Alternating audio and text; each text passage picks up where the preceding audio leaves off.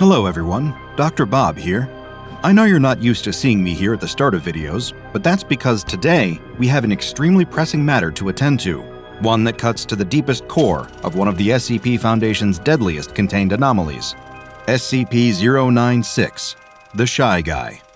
It's a creature that needs no introduction because it probably haunts all of your nightmares already. Close your eyes and picture it in your mind's eye that gaunt face with the slack jaw and the lifeless white eyes. The face you hope never to see as long as you live. The pale skin pulled tight against bone, those impossibly long, gangly limbs. It sits there in its airtight containment cube, covering its face and quietly sobbing, always sobbing, as though cursing something beyond even its own understanding. Perhaps, when thinking about SCP 096, you feel a pang of sympathy mixed with the terror. After all, this anomaly is no sadist. Why would a sadist cry as it kills, like SCP 096 does? You're not alone in asking this question. I've spent many a night poring over classified files with an ever freshening pot of coffee, trying to piece together the answers. SCP 096 is considered one of the most dangerous Euclid class creatures in containment, and yet so little about it is known, beyond its capability to do great harm whenever someone is unlucky enough to see its face and send it into its rage state. How did this happen? It's a question for the curious, like you or me, and after months of strenuous research, I believe I may have an answer. Whether you choose to believe it is up to you. Just be warned when you hear what I believe to be the heartbreaking, tragic origin of this terrifying and pitiful monster, you may never be able to look at him the same way again. Not that looking at him should ever be high on your list of priorities. It begins in a tavern in a small Nepalese village a few miles away from the Chinese border, where Mount Everest, the world's tallest mountain above sea level, waits. Its mere existence is like a challenge to the brave and foolhardy. Conquer me, it seems to whisper. Conquer me, and declare yourself above all those I have conquered. Become a god among men. It's always whispering like this, but few, in the grand scheme of things, can actually hear it.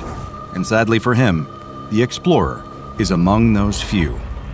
He's sitting in one of the tavern's many cozy nooks, picking away at a plate of mutton curry while sipping from a brass bowl of white chiang, a popular local drink.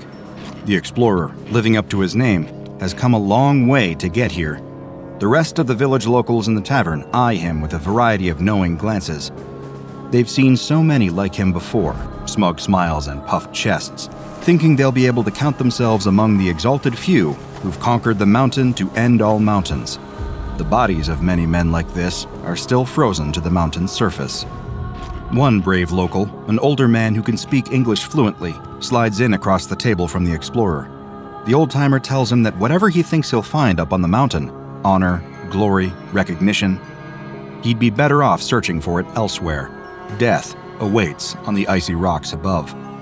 The explorer, young, fit, and still feeling mighty smug, replies that death is there for the people who haven't worked hard enough, who haven't prepared. He's scaled other mountains before, all across the globe, from Scotland to Peru. Everest would hold no surprises for him, just a new, compelling challenge. The old man is, as you could probably imagine, unamused by the explorer's hubris. All confidence and bluster now, he says with his thin, raspy voice. But what will you say when you're face to face with the king?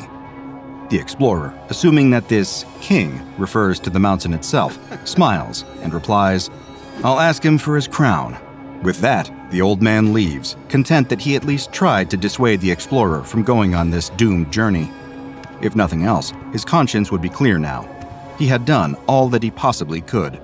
The explorer, not bothered by the grim prophecies of superstitious locals, finishes his curry and chiang and retires to the room he rented upstairs. He's so excited. Tomorrow, it will finally be time. All his months of training will pay off. He will climb to Mount Everest's peak.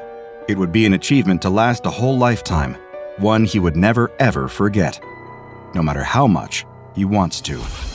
The next day, the tip of his ice axe cleaves into the mountainside as he grunts, strains, and pulls himself up another few feet. He's about 2,000 meters up, and every additional meter is fighting him. It's the bitterest cold he's ever known, a freeze so deep it makes his incredibly expensive thermal locking clothes feel like he's wearing wet, one ply toilet paper. But the pain doesn't matter. The cold doesn't matter. He finds it exhilarating. Of course, just as the old man had warned, death could be waiting for him on this mountain. But the truth is, the explorer has never felt more alive. He winches himself up a few feet more, trying to regulate his breathing as his icy fingers, wrapped in thick gloves, struggle to find purchase on what feels like a sheer cliff face. There are many times when he's supporting his full body weight with only his hands. It often takes the kind of Herculean strength that only a lifetime of training can give you. After all, there's no room for error on Mount Everest.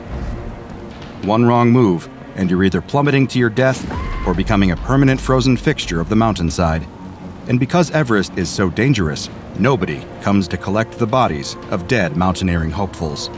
Their corpses, coated in often colorful winter jackets, litter the mountain. Some look at them as a tragic warning. Other, more morbid mountaineers use them as mile markers for their own more successful ascents. Whether the explorer would be lucky or become just another dead, frozen mile marker is still entirely up to chance. He climbs for a few more hours, pushing past his body's complaints, his physical limitations, until he reaches a well earned plateau. Here, he establishes a small base camp and eats some of his rations. The area is thankfully guarded enough to keep out the worst of the sub zero winds, so he can at least get some sleep without freezing to death. Mount Everest cannot be conquered today, and even someone with the explorer's bravado wouldn't dare to try. But as he settles down to sleep for the night, he can't help but look up and the enormity of what stands before him, he finds utterly terrifying. The mountain just keeps going and going and going, stretching up into the misty heavens, like the tip would only be a short jump from the moon. For the first time, the explorer begins to genuinely wonder will I scale this mountain? Or will I die on it? What he never even considers is that there may be a third option that's so, so much worse. Over the next few days, he keeps climbing further and further. Hundreds, then thousands of meters pass under him as he breaks past even the boundaries biology seemed to set for him. He's impossible to deter, an engine of pure, burning willpower, going because he knows he cannot stop. Because he knows that if he throws in the towel now, it will have all been for nothing. He'll be just another failure, one speck among billions. He'll have no meaning, no legacy. He'll just be another average Joe forgotten. And that honestly scares him even more than the prospect of freezing to death up here. Eventually, even though it costs him almost everything to do it, he reaches 8,000 meters, an area known as the Death Zone, where it's believed to be impossible for humans to acclimate. This is the thin, rarefied air that few have been permitted to breathe, and he's seen so many brightly colored mile markers on the way to here. The ground is slippery, and the air chews into the explorer's skin, but he knows he's made it this far. Less than a thousand meters from the peak now, he has almost conquered the mountain. So you can only imagine how surprised he feels when he sees another mountaineer walking down the side of the mountain towards him with an eerie kind of casualness. He's wearing standard mountain climbing gear, including white thermal pants and a hooded coat, zipped up to the chin. The explorer can't make out the stranger's face beyond the pair of thick, black goggles he's wearing over his eyes.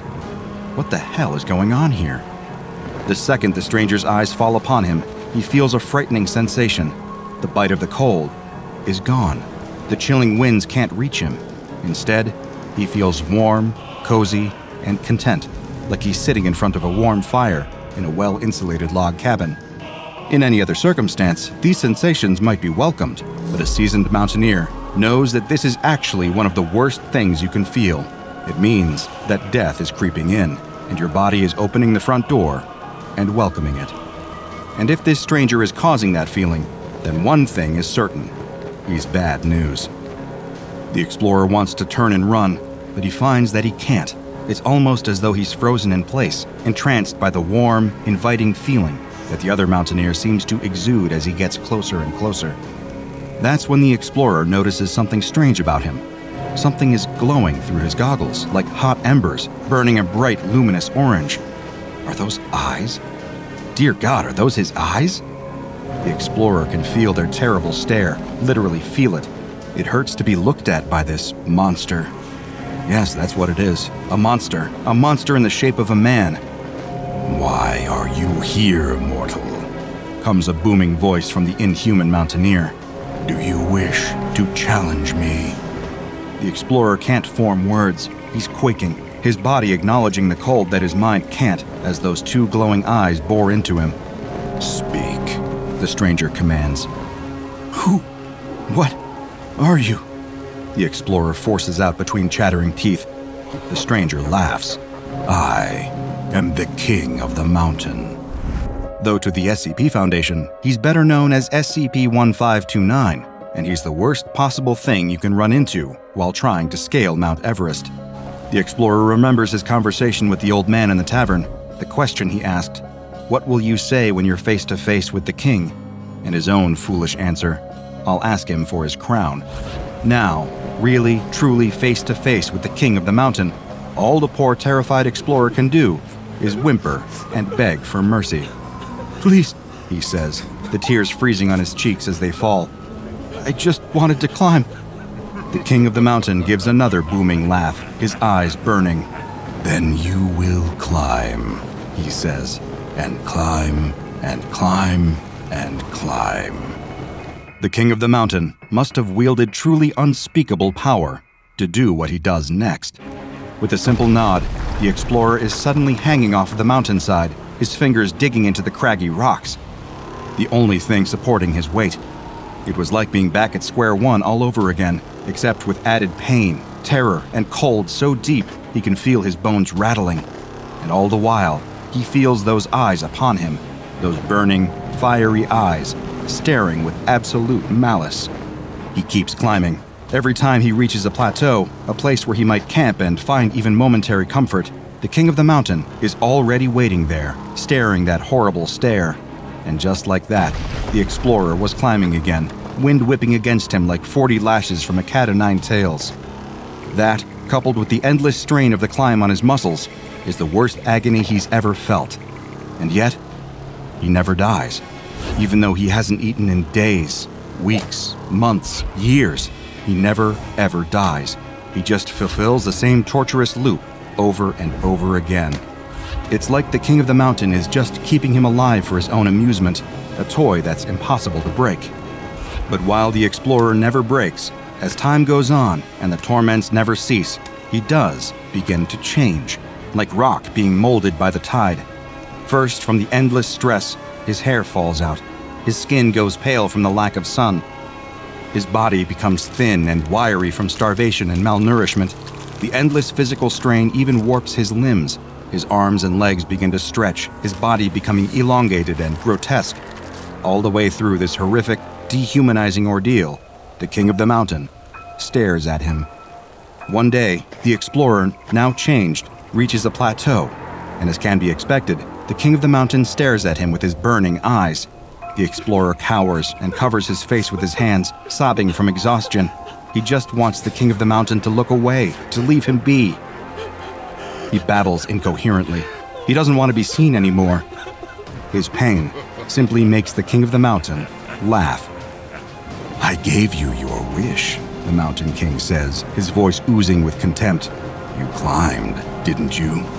You thought that your climbing would elevate you, make you more than human. But now, you're so much less. Our business concludes here. I'm tired of playing with you. And with that, the king is gone. The explorer is alone, stranded among the snow and the whipping winds of the death zone, but very much alive. He's finally able to go. At long last, after what felt like an eternity, he's escaped. When the explorer arrives in the village again, he's not the explorer at all. It's been years since he went missing on the mountain. The old man who had warned him not to go up onto Mount Everest had passed peacefully in the interim. The other members of his small village would not be afforded the same luxury. Instead, the explorer stumbled back through the village limits, still covering his face. The only sounds he can hear are the wailing wind and his own pitiful sobbing. Everything hurts. He's so terribly afraid. He needs somebody to help him. Why will nobody help him? The sun begins to rise, and the village shakes itself awake. People leave their homes to go about their daily tasks. None of them are expecting to see a monster loping through their streets, a pale, gangling monstrosity, stretched and hairless.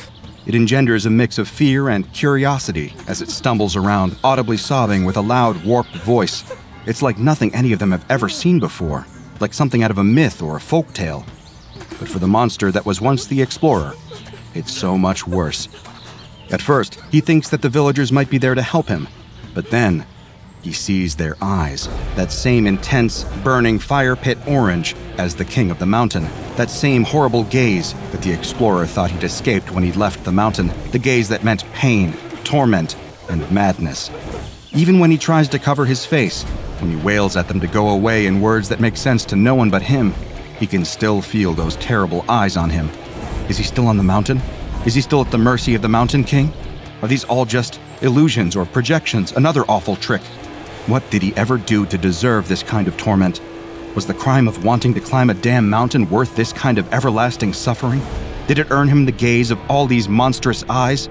The explorer begins to feel his anguish being replaced by another feeling rapidly rising rage, the kind of pure, blistering hatred that inexorably leads to one result violence. First, he screams, then, they scream, and finally, the killing begins.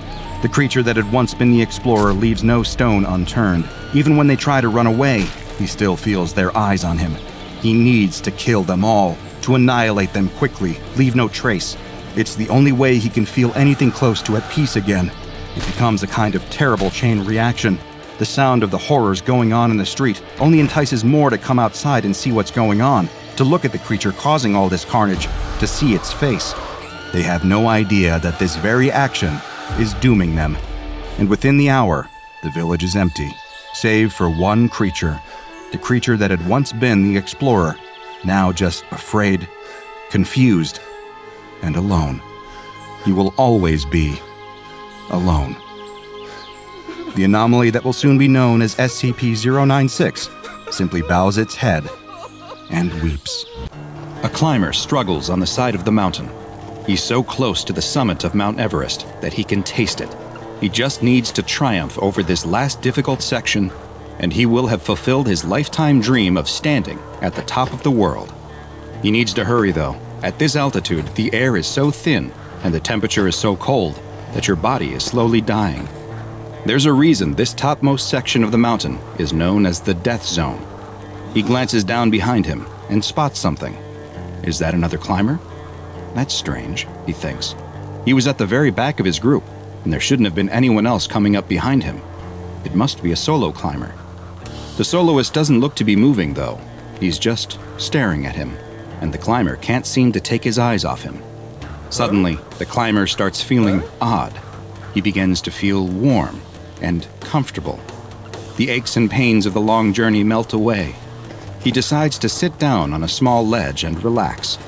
He watches as the solo climber comes towards him. He must be a professional with the way he effortlessly moves up the mountain. He watches him make great time, getting closer and closer. He loses sight as the solo climber reaches the same difficult section he had been struggling with. He imagines the solo climber will soon zip past him on his way to the summit. But just then, the soloist pops up right in front of him.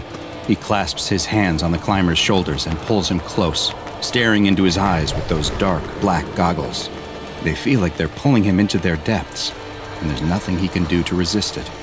The climber tries to scream, but all that comes out of his mouth is silence. Hi, I'm Dr. Bob, and this is SCP 1529, also known as King of the Mountain. But first, a quick personal request from me. I need your help to spread the word about the lesser known anomalies in the SCP Foundation's archives. The best thing you can do to help me is subscribe, turn on notifications, and then go tell your friends to do the same. This is a huge help and will let me bring you more and more SCP videos. Now, back to our file. SCP 1529 is an entity with a humanoid appearance that resides near the summit of Mount Everest in Nepal. It is only found above 8,000 meters, which places it in the part of the mountain referred to as the death zone, where oxygen levels are too low to support human life for any extended period of time. It is roughly equivalent to an average human male in height and weight, and its outer appearance resembles normal mountaineering clothes, with a heavy parka, pants, and boots that are all white in color. Its face is completely obscured by a large hood, with the only visible detail being a pair of large, dark goggles. SCP 1529 has never been seen wearing any other outfit, and in fact, it is unknown whether these are articles of clothing at all, or if they are actually a part of its body. The SCP Foundation first became aware of an anomalous entity lurking near the top of Mount Everest in the 1970s, when climbing expeditions to the summit became more commonplace among professional and amateur mountaineers alike. Rumors began to spread and told of a monster that was killing unfortunate climbers. In 1999, the body of George Mallory, who is believed to be the first person to reach the top of Mount Everest, was located, and photographic film found on his body was developed. From those pictures, it is now known that SCP 1529 was present at least as early as his 1924 expedition. When sufficient daylight and a lack of cloud cover allows observation of the peak by telescope, SCP 1529 can be seen sitting or lying on the mountain, apparently motionless in an inactive state. These motionless periods have been seen to last anywhere from 17 minutes to as long as 8 months. When active, though, it can be seen summiting and descending the upper portion of the mountain, though it never uses any climbing tools and will ignore established climbing ropes and ladders that have been installed by other climbers. It has also been observed easily traversing portions of the mountain that are considered too difficult or altogether impossible by experienced climbers. Additionally, SCP 1529 is not impacted by the freezing temperatures, extreme wind speeds, or low oxygen levels at the top of the mountain, and it has never once been seen to stumble, fall, or even lose its grip. It is unknown what prompts SCP 1529 to become active or enter a resting inactive phase nor has there been any established correlation of these phases to weather, time of year, or traffic on the mountain. Its active periods have been observed to last between mere hours to several days, but the exact amount is hard to know for sure. Nighttime observation of 1529 has so far been impossible, even with thermal imaging cameras, since it produces no heat, with its temperatures being the same as that of the surrounding environment. When in its active phase, if a human climber passes the 8,000 meter mark, then SCP 1529 will begin to make its way towards them, putting itself in the path between the climber and either the summit if they are ascending, or their camp if they are descending. It seems to prefer to go after solo climbers, or those that are significantly ahead or behind their climbing group, but it has been observed targeting climbers in a group when a solo opportunity is not available. Once SCP 1529 is within eyesight of its targeted climber, it will attempt to gain their attention and then lock eyes with them, which produces a hypnotic effect. The climber will find that they are unable to break eye contact with SCP 1529 and will then begin to experience feelings of warmth and euphoria, similar to the effects of hypothermia and hypoxia, also known as altitude sickness. The victim will feel the overwhelming desire to sit down where they are, and once they stop moving, SCP 1529 will quickly close the distance between them, once SCP 1529 reaches the victim, death is almost a certainty. An examination of bodies has shown the cause to be from hypothermia. Strangely, it's been observed that victims seem to succumb within just one to two hours after having first made eye contact with SCP 1529, a period of time much shorter than usual for climbers trapped on the summit of Everest. After death, the victims' bodies experience an accelerated rate of decay, and after mere hours or days, the bodies become rotted and mummified at a level comparable to bodies that have been exposed to the wind and cold of the mountain for decades. Many of the over 200 deaths on Mount Everest have been attributed to SCP 1529, and the rare survivor of an encounter is almost always due to the intervention of another mountaineer, who was able to offer assistance to the entranced climber before SCP 1529 was able to reach them. There have been several notable reports from survivors of interactions with SCP 1529. One, known as Incident 1529 1, is also the only documented instance of SCP 1529 descending below the 8,000 meter mark. During the incident, the entity entered Camp 5, located on the northern approach of the mountain at 7,775 meters, which resulted in multiple deaths, including two Foundation personnel who were operating the monitoring posts. One climber, who had initially believed to have been killed in the incident, was discovered to still be alive two days later when Foundation personnel were conducting investigations at the camp. He was safely removed from the mountain, though he required the amputation of several frostbitten fingers and toes. During an interview with a Foundation agent, they described spotting SCP 1529 just 10 minutes after leaving the summit of the mountain. After locking eyes with the entity, they began to feel happy, comfortable, and relieved, like they were back at home next to a warm fire. But then suddenly the warmth was gone, and they experienced a sensation of cold more powerful than anything they had felt before. They were stuck, and could only watch as 1529 made its way towards them. When it finally reached them, it placed its hands on their shoulders and pulled them up into its face so that they were staring right into its black goggles. Images began to appear in the dark depths of the goggles. People warm and happy, sitting next to fires, in hot baths, or sunning on a beach. They tried to resist the strange pull of the creature with all of their might. They then heard something in their mind a question from SCP 1529. It asked, You would refuse my gift? The stranded climber struggled to answer, using all of their willpower and strength to move their lips and whisper a single word Yes. SCP 1529 responded by showing more images of people, but this time they were bodies lying dead in the snow. Countless victims trapped on Mount Everest forever.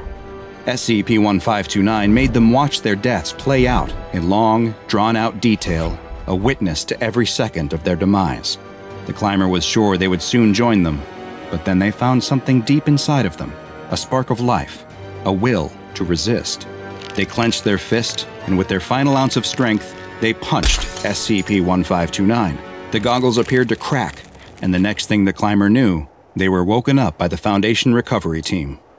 Following this encounter, the climber never attempted to summit another mountain. When they eventually passed away some years later, an autopsy revealed that their cause of death was consistent with extreme hypothermia, frostbite, and cerebral edema, despite not having been in a cold environment or above 500 meters in altitude in the previous 12 months. SCP 1529 has been classified as Euclid and is to be kept under telescope and satellite surveillance whenever possible, though telescope observation should make use of a delayed video feed, as observers have reported seeing SCP 1529 appearing to stare back at them and reported feeling symptoms consistent with an encounter, including hypothermia and frostbite. The Foundation maintains communication with civilian mountaineering expeditions to prevent summiting attempts when SCP 1529 is active. The bodies of any victims are to be removed from the mountain if possible for autopsy, with their deaths being officially classified as having been from natural causes related to altitude sickness and hypothermia. Any survivors of encounters with SCP 1529 are to be debriefed and administered amnestics. Mobile Task Force Psi 29029, also known as Alpine Echo, is to remain on standby at all times at a permanent monitoring station, with on duty members remaining in a pressurized environment acclimatized to 7,900 meters above sea level, allowing them to quickly deploy via helicopter if need be. Finally, and most troubling, is that aerial surveillance of another mountain has revealed an individual similar in appearance to SCP 1529. The location remains classified, and the local government has prohibited climbing on the peak, so threats to humanity are minimal at this time. But the Foundation will continue to monitor it and other mountains for anomalous activity. Your phone suddenly vibrates. A text alert. Nothing too surprising about that. But you don't recognize the number. You open the message and there's no text, just a picture. A strange figure dressed all in black, with a face that looks like the skull of a dog. Who sent this, you think to yourself? Is this a prank? You try to put it out of your mind and go about your day. The next day, there's another message from the same number. You open this one to find the same dog skull faced creature staring back at you. But this time, you recognize the background. Is that your house he's standing in front of? Now you're getting a little freaked out. Someone is trying to mess with you, you're sure of it. But what can you do? Another couple days pass, and you get another message. You don't need to look to know it's that same number again. You've been getting plenty of these over the last few days. You're really scared now, and you run out of the house to your car. You've got to get out of here. You drive, and while stopped at a light, you decide to finally check this latest message and see what it is. It's the creature again, but this time, it's a picture of him sitting in the back seat of your car. You put your phone down and slowly turn your head. Hi, I'm Dr. Bob, and this is SCP 1471, also known as MalO version 1.0.0. SCP 1471 is a very interesting anomaly. that's not really a creature or a monster or even an object. It's a mobile app. It's 9.8 megabytes in size and is freely available in online application stores where it's listed under the name MalO version 1.0.0. There's no developer listed on any of the stores, and it seems as though the app is somehow able to bypass the normal application approval process and appear directly on the stores for wide distribution. Once SCP-1471 is downloaded and installed on a device, there are no icons, shortcuts, or widgets like you'd expect when installing software. It also does not appear on program managers, and once installed, it seems there's no way to remove it. Within 3 to 6 hours of installing the app, the individual whose device it is will begin receiving mysterious picture messages. All of these images will have one thing in common. Somewhere in the foreground or background is a large humanoid figure with a canine like skull for a head and long black hair. This creature has been designated SCP 1471A. Sometime during the first 24 hours following the installation of SCP 1471, the individual's device will start to receive slightly different images from before. These images still always contain instances of 1471A, but now the locations will be recognizable to the individual. These pictures will be of places that the individual regularly frequents, like their local grocery store, their school, or their work. These sorts of images will continue to be received until 48 hours since the initial installation has passed. At that point, the device will start to receive images of places that the individual recently visited, like an image of the restaurant where they picked up their lunch an hour ago. Just as before, all of these images have SCP-1471-A somewhere in them, as if it's been following them and wants them to know it. After 72 hours, things get even stranger. Now the pictures received by the individual will be of them in real time. They might receive a picture of themselves sitting on the couch, taking in that exact moment, except SCP-1471-A is standing right behind them. But when they look, there's nothing there. It's as if someone is photoshopping in this bizarre canid creature, but doing so impossibly fast. Finally, after over 90 hours have passed since the app was installed, the weirdness reaches its peak. The individual no longer receives photo messages, but instead will start to catch glimpses of SCP 1471A in real life, either in their peripheral vision, in reflective surfaces, or in both. At this point, the individual afflicted will continue having visualizations of SCP 1471A in the real world, a result that so far has been irreversible. Individuals who have reached this extreme stage of exposure have reported that the entity appears to be trying to visually communicate with them, but none of them have been able to understand or comprehend whatever message it's trying to relay. Such was the case with a subject named William. William had first been exposed to SCP 1471 at 15 years old when his sister, Sarah, showed him an app she had downloaded earlier in the day. The app's description states that you will never have to settle for awkward feelings of being alone ever again.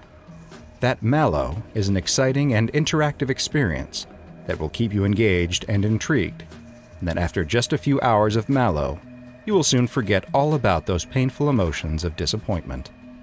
Neither William nor his sister knew how the app worked, but they assumed it was tracking them using some kind of GPS, and soon William was receiving images from SCP 1471. The first one he received was of his school's courtyard, with SCP 1471A barely noticeable, sitting on a bench. He had black, matted fur, knife like claws, a set of blank, pure white eyes, and a face that looked like the skull of a beast with a large, wolfish grin. William was immediately frightened by this, but Sarah insisted it was cute and funny. William wasn't so sure. The pictures continued over the following days, with SCP 1471A appearing at his school, at his bus stop, on his street, nearly everywhere he went. And then, the pictures started appearing as if they had just been taken the moment they were received. William and Sarah were both being sent the same type of nightmare inducing images, and they tried to delete the app from their phone to stop them, but they couldn't find where the application was stored. Then, things got even worse. the creature started appearing to William and Sarah in the real world. William, as it turns out, was the lucky one, as SCP 1471A primarily appeared to him in reflective surfaces like mirrors, which he could cover with a curtain when he didn't want to see the strange dog skull face with its toothy grin staring back at him. Sarah was less fortunate. She saw the creature everywhere she looked, it always appearing just outside of her periphery, catching glimpses out of the corner of her eye, or feeling it looming over her and watching her as she slept. William has been able to cope with the appearances of 1471A, even regarding it as a somewhat comforting presence at times. Sarah, sadly, was driven mad by the never ending visions of the creature. Currently, the only known treatment to reverse the effects of SCP 1471 and the appearances of 1471A is to eliminate the individual's exposure to the images before 90 hours have passed after installing the app. Once those 90 hours have elapsed, though, it is too late, and SCP 1471A becomes a permanent presence in the individual's life. Thankfully, 1471A has thus far remained non hostile and has not been shown to pose a threat to those afflicted by it, at least, not a physical threat. All mobile devices that are found to have MalO version 1.0.0 installed on them are to be confiscated and analyzed for any potential information as to who might have created the application, as well as leads for other devices that may have been infected. Following this investigation, the device's batteries are to be removed and the device placed in Storage Unit 91 at Research Site 45. Additionally, all online application stores for mobile devices are to be monitored to prevent unsuspecting users from inadvertently downloading the anomalous software. Any individuals who are suspected of having downloaded SCP 1471 will have their device targeted by a self uploading malware that can disable it until it's able to be seized by Foundation agents. Due to the unpredictable nature of the anomaly and the potential sentience of the software itself, SCP 1471 has been classified as Euclid by the SCP Foundation and research into ways to hopefully one day contain the anomalous software is ongoing. A thumb pulls back the hammer on a loaded pistol. Even under all his thick, warm layers of coats and sweaters to protect him from the cold, the musher can still feel his heart pounding in his chest. All the long months of training with his team has all been leading to this moment. He grips the reins as tightly as he can, all eight of his dogs attached to the other side of the sled beneath his feet. It's about to start any Second. Now. Bang! The shot of the starter pistol rings out, and the second it does, all 16 pairs of paws are dashing through the icy Alaskan snow. The musher catches specks of white as they spray out from the sled in front and encourages his pack to pull harder, run faster. The race is on, and he intends to win. Then, all of a sudden, he hears an agitating, grating voice calling out to him, trying to divert his attention away from the race. Out of the corner of his peripheral, he notices the movement of another pack of dogs, pulling another sled up alongside his. They wouldn't try to ram him and knock his sled off course, but the musher still expects them to try and overtake, so he shoots a glance to his fellow competitor. And under his scarf, his jaw drops at who he sees driving the other sled. It can't be. It makes absolutely no sense that someone with that degree of wealth would be taking part in a dog sled race through the snow. But even under his ski goggles, the musher is certain of who he's looking at. It's him, grinning and waving at the musher from a neighboring sled. One thought shoots across his mind. Is that Elon Musk? The eccentric billionaire signals the musher to lower the fur lined hood of his winter coat. Still unable to fully believe his own eyes, let alone come up with a logical explanation for what he's seeing, the musher finds himself lifting the hood back so he can hear what the man has to say. His smile is unnatural, overly forced, like he's trying too hard to replicate what a normal human expression looks like. The moment the musher's hood is down, he hears that bizarrely familiar tone of voice again as the man starts selling. He's trying to sell him one of those outlandish brain chips of his. The musher remembers reading an article about them and the billionaire's strange and unbelievable claims as to what these dangerous implants can do. Are people already so wise to his products being scams that he's resorting to propositioning random sled racers? The race. The musher is so distracted by the hard pitching billionaire that he almost forgets to focus on the path in front of him. And at any rate, even if he did want a microchip installed in his head, he definitely can't afford the price tag. He tells the man to get lost, then focuses on his dogs. only to hear the deafening sound of a jet engine erupting next to him, followed by a huge wall of snow. It's an avalanche! Hours later, the musher wakes up in the hospital, having been dragged out of the snow. The doctor asks him what happened, and when he tells the doctor that he was distracted by Elon Musk trying to sell him cutting edge technology, the doctor orders an immediate brain scan. However, the results of the brain scan come back clean no brain damage, no illicit chemicals, but no matter what, the musher sticks to his story. Elon Musk distracted him on the slopes that day. Elon Musk and his gaggle of cyborg dogs. A nondescript man in a black suit turns up later that day, claiming to be a psychological specialist. The doctors leave the man in the black suit alone with the musher. The strange man notes down every detail of the story. He doesn't judge, he doesn't dispute, he just listens to every bizarre detail Elon Musk, cyborg dogs, avalanche, and all.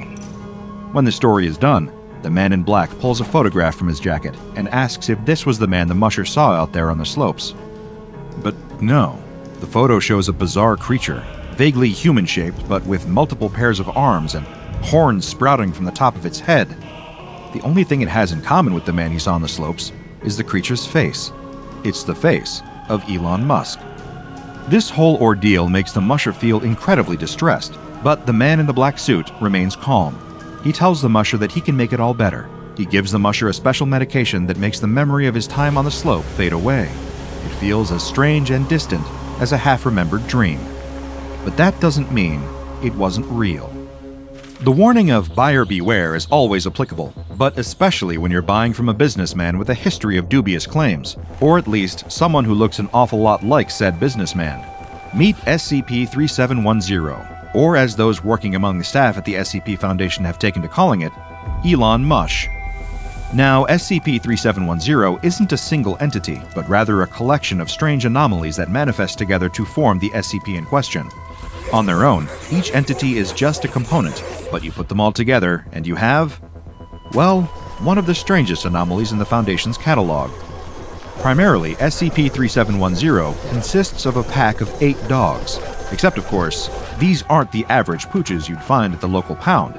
They're highly anomalous, each one of these peculiar pups has been extensively cybernetically enhanced, and even bears a close resemblance to the dogs that form SCP 2624, an anomalous cybernetic space dog.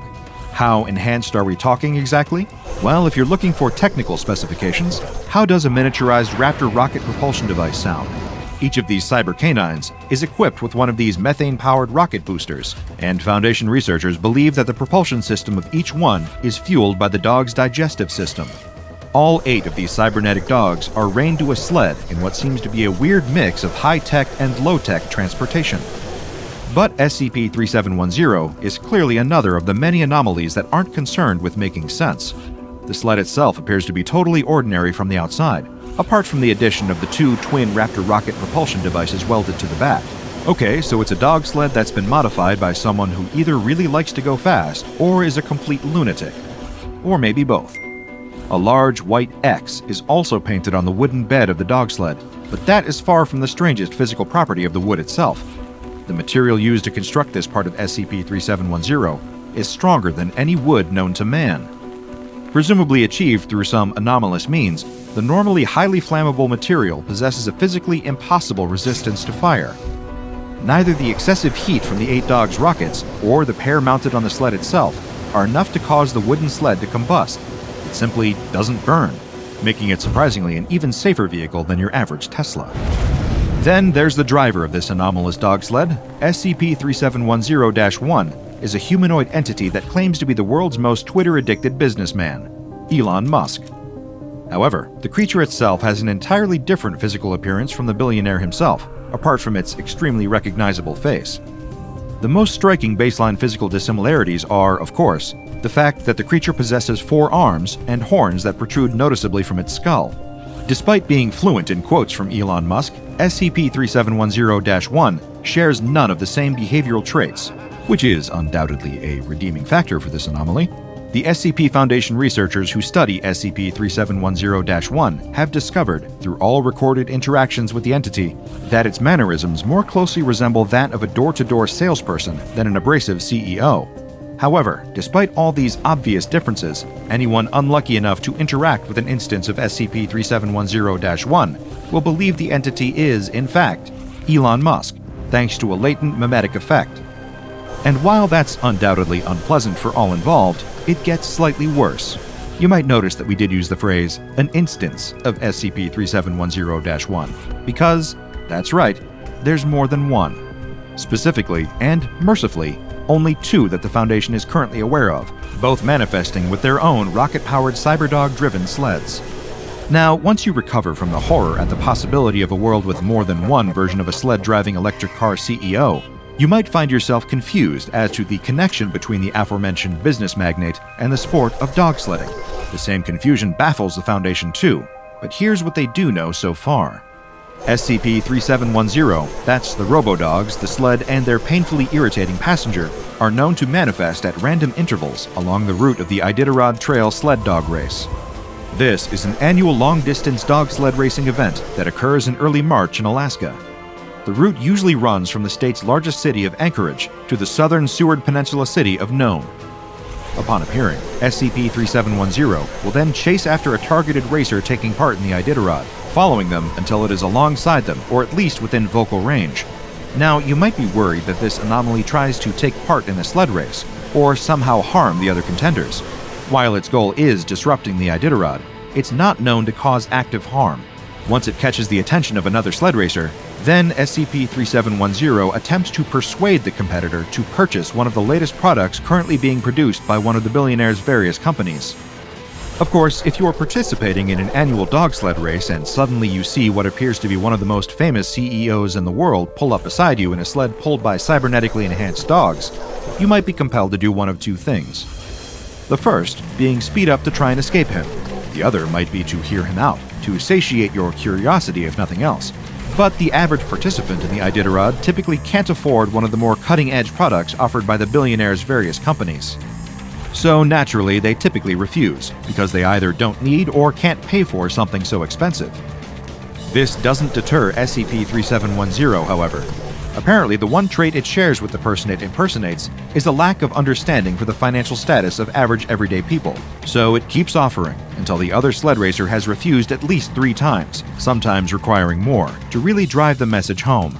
With that, SCP 3710 typically takes off, stating it isn't interested in negotiating any further, and engages the propulsion devices of its eight robodogs and the two on the back of the sled. Of course, these highly dangerous Raptor boosters can cause severe burns, blunt force wind damage, and other environmental hazards to the other racers.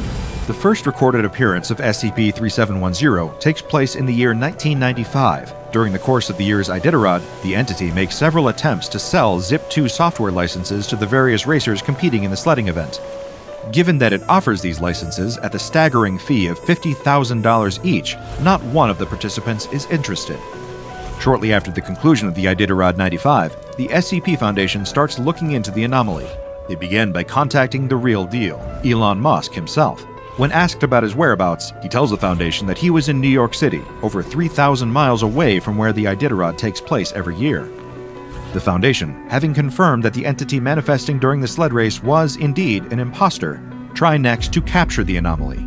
This doesn't go well at all. They send out six Foundation operatives, all of them disguised as dog sled racers. SCP 3710 manifests yet again, but manages to evade the six person team sent to capture it.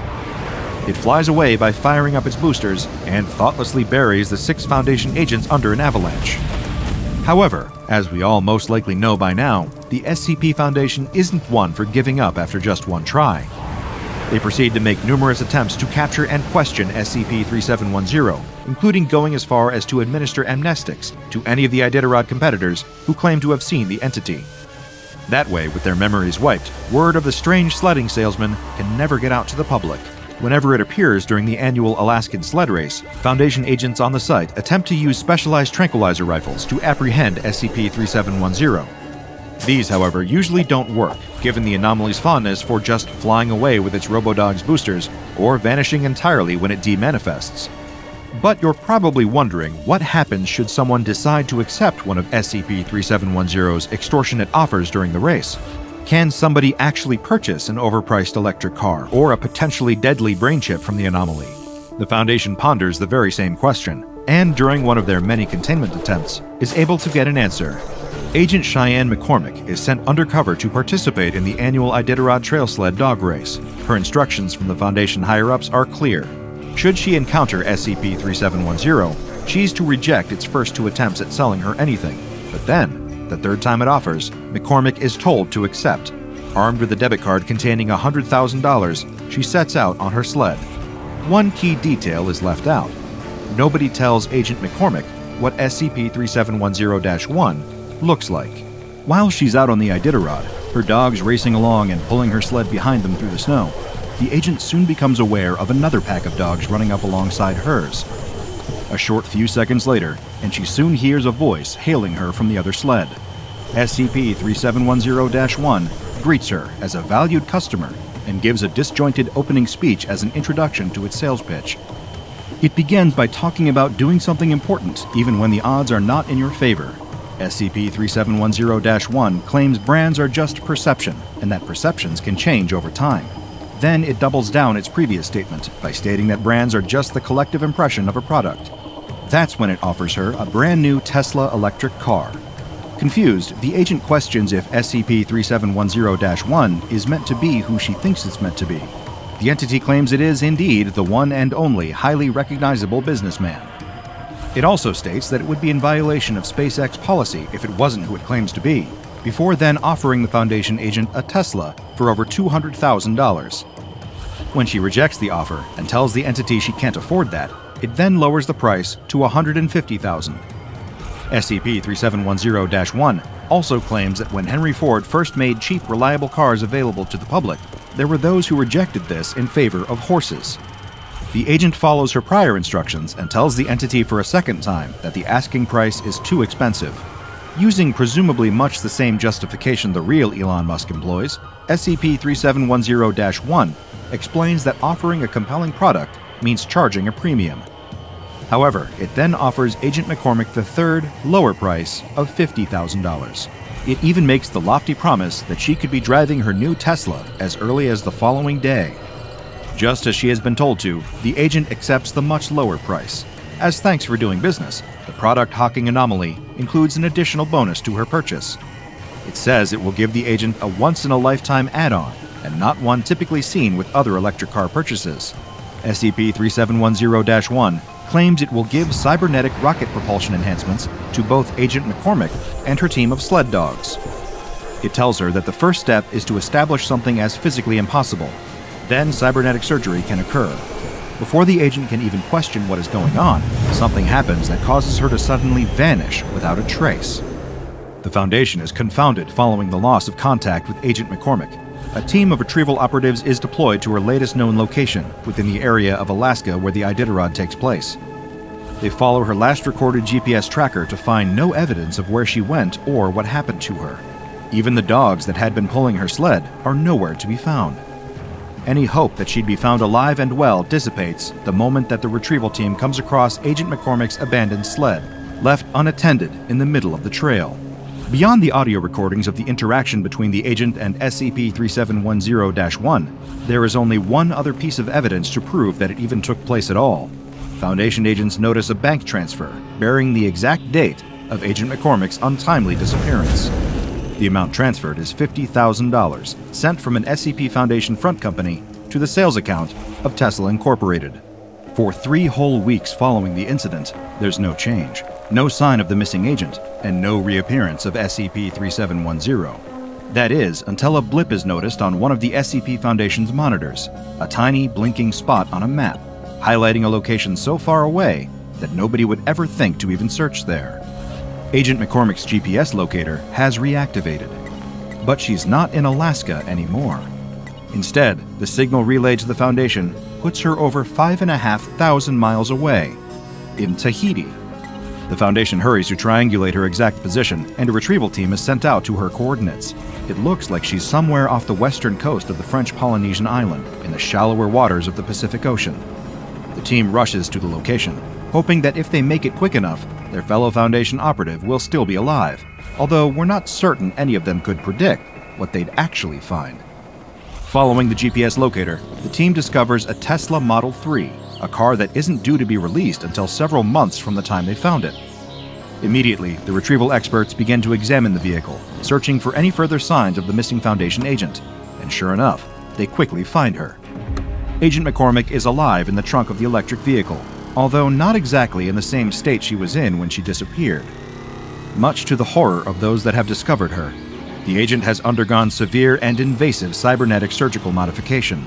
Anyone with an affinity for that type of enhancement might hope for a mechanical arm that shoots rockets, or has hidden blades, or maybe a spinal device that can make a person run faster than the human eye can perceive. But Foundation Agent Cheyenne McCormick isn't so lucky. Her entire lower jaw, including her esophagus, has been replaced with the Raptor propulsion device. Whoever is responsible for the mechanical modification of the missing agent had left a handwritten note attached to Agent McCormick's forehead, which read Thank you for purchasing from Tesla Incorporated. We deeply regret the conditions under which we are forced to return your representative. An accident occurred when they attempted to prevent the agreed upon dog modification, as stated in Article 1, subsection 3 of our verbal purchase agreement. Upon purchase, the customer shall cede all dogs in his or her possession for propulsion modification, in preparation for SpaceX's excursion to Enceladus. The note then concludes with a link to fill out a customer satisfaction survey. Foundation experts would later discover that this URL posed a cognitohazardous threat. Additionally, the note contained thanks for the agent's contribution of money and dogs towards the Tesla SpaceX Rocket Dog initiative. After stating he hopes they'll shop with Tesla again, the note is signed with the all too familiar name of the company's infamous CEO. The following year, the Iditarod starts up once again, and just like many times before, SCP 3710 makes its usual repeat appearance. But this time, there's a slight difference. Now, a second identical instance of SCP 3710 1 manifests alongside the original, with its own matching rocket powered sled, complete with cybernetically modified dogs. The dog team pulling this new instance's sled matches the description of the dogs that had pulled Agent McCormick's sled a year earlier. But of course, they too have seemingly undergone the same cybernetic surgery to implant them with Raptor propulsion devices. The SCP Foundation's researchers theorize that SCP 3710 manifests during the Iditarod race primarily for two reasons. For one, it's an isolated route through the snowy tundra of Alaska, with not a lot of witnesses, save for the participating sled racers and their dogs. But therein lies the second reason the dogs. Given the intense physical training these sled dogs undergo, it seems that makes them ideal candidates for SCP 3710's cruel, sadistic, and unapproved cybernetic experiments. As the old adage says, buyer beware, and as a general rule of thumb, we'd recommend not buying anything from someone who claims to be a genius. A pair of SCP Foundation researchers open the door of a containment cell and find themselves staring at something unlike anything they've ever seen before. Sitting in the middle of the room is a giant lump that appears to be made of what can only be described as flesh. The two look at each other in disbelief. Just what is this thing? They circle the huge blob, looking it over, wondering what on earth it could be. One of the researchers finally gets the courage to actually feel it. He finds that it's warm to the touch. And does he detect some slight movement? He slowly moves to place his ear against it to listen, but a sudden shudder from the mass sends him jumping back in fright. Just then, the other researcher calls to him from the other side of the sphere. It sounds like he has found something. As he approaches, he too sees what caused his partner to call out. There, in the middle of this tumorous ball, is a door. It's a circular iron hatch, the kind sealed by a valve, and it's open. Now the researchers are really confused. A massive lump of living flesh is strange enough, but why does it have a door? One of the researchers peeks inside. Is that a couch they see? And a table? Does someone live in this thing? Things are getting beyond strange. The two researchers look up at the observation window where their supervisor is watching them. The supervisor does not hesitate.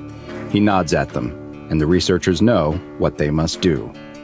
Rock, paper, scissors, shoot. The researcher who lost winces he knew that coming to work at the SCP Foundation meant that he would be dealing with some strange, dangerous, and disgusting anomalies, but he never imagined he would have to climb inside a giant orb of meat. His partner opens the hatch all the way and offers a hand to help him. knowing he has no other option, the researcher steps inside. Inside, the air is hot, thick, and moist, like a cramped gym that's had too many bodies exerting themselves on a warm, humid day.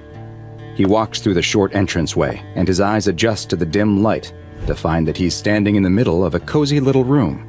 A single small lamp on a table is giving off just enough light for him to see that the room is sparsely furnished, with a few pieces including a small couch and a twin bed.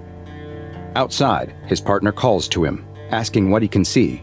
As the researcher turns to answer, the door snaps shut. The valve spins on its own, locking itself tight. Try as he might, the researcher can't get it to budge. He bangs on the door and yells, Is he all right in there? Is everything okay? His only response is a muffled scream from inside the ball of flesh. He keeps pulling at the door, twisting the valve with all of his strength, but it won't move. The sounds of gurgles and wet sloshing come from inside the meaty growth. An alarm starts to sound as he strains against the door, exerting himself so hard that he feels like a vein in his head might burst. Suddenly, the valve loosens, and the sudden lack of resistance causes him to fall to the floor. The valve spins on its own, and the door swings open once again. The ball of flesh is quiet once more. The researcher picks himself up off the ground and slowly, carefully, peeks inside. Hello? Are you okay? Is anyone in there? There's no response. That is, until a blast of hot air comes rushing out of the hatch, blowing the researcher's hair back. When it's over, he peeks inside again.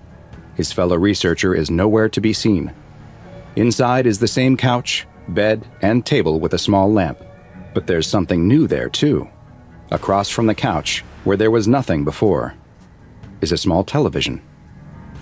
While this may seem strange, it's just another day at the SCP Foundation, where anomalous objects and creatures are studied and contained, including SCP 002, also known as the Living Room. SCP 002 is the designation given to a large, tumorous, fleshy growth. It's roughly spherical, with a circumference just over 15 meters, giving it an estimated volume of around 60 meters cubed. Located on one side is an iron valve hatch, similar to what might be found on an old submarine, which leads into the interior of the ball. Those who step inside are surprised to discover a small room that resembles a low rent studio apartment, complete with furniture and even a small window. Strangely, the outside of the ball of flesh shows no windows, and indeed no openings at all, save for the iron hatch. The furniture in the room displays no anomalous properties, though examination has revealed that the furniture appears to be constructed of sculpted bone, woven hair, and other biological substances, all coming from human bodies. Analysis of samples taken from the furniture has shown each to be constructed from independent and fragmented DNA sequences, several of which correspond to SCP research personnel who have been lost inside of SCP 002. To date, the living room has been responsible for seven members of staff going missing. At the same time, during the course of its containment at the SCP Foundation, the room appears to have added multiple additional furnishings, including two lamps, a throw rug, a television, a radio, a beanbag chair, three books in an unknown language, four children's toys, and a small potted plant. Tests have been performed using a variety of non human entities in order to see if they would provoke a similar response from SCP 002 to that of humans. Various lab animals, including those with close DNA to humans, such as chimpanzees, have been placed in the room. But so far, all have failed to make the living room react. Human cadavers were also tested, but they too did not produce any effect. It is unknown what causes SCP 002 to engage in its behavior, but whatever process it uses to convert organic matter into furnishings seems to only be triggered by the presence of living human beings. SCP-002 was discovered in northern Portugal, following reports of an object falling from Earth's orbit. There, in the bottom of a small crater, was SCP-002. It was encased in a thick shell of rock, but the anomaly's fleshy exterior could be seen through cracks that were likely created by the impact. A local farmer was the first to spot the object falling to Earth and brought word of what he found to his village. At the same time, a Level 4 SCP Foundation agent stationed in the area detected elevated levels of radioactivity and traced the source back to the crater. An SCP collection squad led by General Mulhausen was dispatched to the impact site and quickly secured the area. Test subjects from the nearby village were recruited for initial analysis of the object, with three men being individually sent inside of SCP 002, all of whom disappeared. Having confirmed this anomaly's deadly properties, General Mulhausen then issued a Level 4A termination order that would apply to any local witnesses in order to ensure that no knowledge of the object reached the outside world. He then oversaw its transport to an SCP containment facility. As Foundation staff prepped SCP 002 for relocation, four members of the security personnel were seemingly mesmerized and drawn inside the object where they too disappeared. This was the first hint that SCP 002 possesses some form of subtle mind control, with the ability to influence humans into stepping inside of it. It was after these losses that it was first noticed that the object appeared to grow new furnishings following someone disappearing inside. After these mishaps, General Mulhausen ordered all staff to wear hazmat suits when dealing with SCP 002, and following the General's own termination, SCP 002 was placed in containment at the secure facility where it currently resides. Due to the ongoing danger presented by SCP 002, the risk it poses to any who step inside of it, and the mind control abilities it possesses, it has been classified as Euclid. It is to remain connected at all times to a suitable power supply to keep it in a charging mode of some kind, which appears to make it more docile. In the event of a power outage, staff in the immediate area are to be evacuated and the object's containment cell emergency barrier is to be closed, sealing it off from the rest of the site. Once power is reestablished, strobing X-ray and ultraviolet lights are to be activated in the containment cell until SCP-002 is returned to its charging mode. Research teams investigating SCP-002 that will come within 20 meters of the object must consist of no fewer than two members. Personnel should also maintain physical contact with one another at all times to confirm that the other is present and not experiencing any feelings of confusion, dulled perception, or other forms of bewilderment that may lead to them entering the living room. No personnel at all below a Level 3 clearance are allowed inside of SCP-002, and any staff that have contact with the anomaly are to be escorted no less than 5 kilometers away and must undergo a 72 hour quarantine and psychological evaluation. SCP 002 is one of the oldest anomalies in the SCP Foundation database, but remains one of the least understood. Perhaps one day we'll understand what it is and why it was at one time sitting in the orbit of Earth. Did someone send it here, intending us to one day find it? Did it come here of its own volition? Or did we put it there ourselves, in an attempt to keep it away? Ashen faced villagers walk in a solemn line down a long dirt road. The light from their torches makes their faces into masks of shadows. They chant in an ancient and arcane language as they move in a procession towards the darkened cemetery on the edge of the village. It's an unpleasant duty, but a burden that they must carry nonetheless. In the middle of the procession is the one being honored tonight one of the village elders. And in this village, to be an elder is a truly special thing.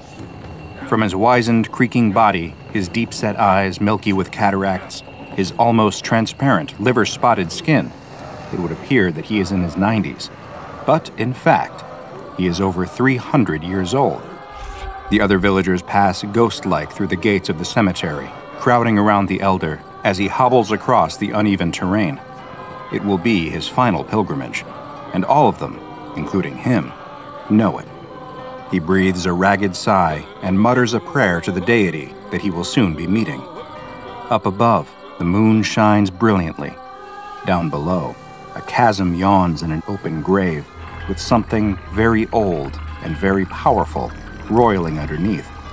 The villagers do not fear it. They revere it.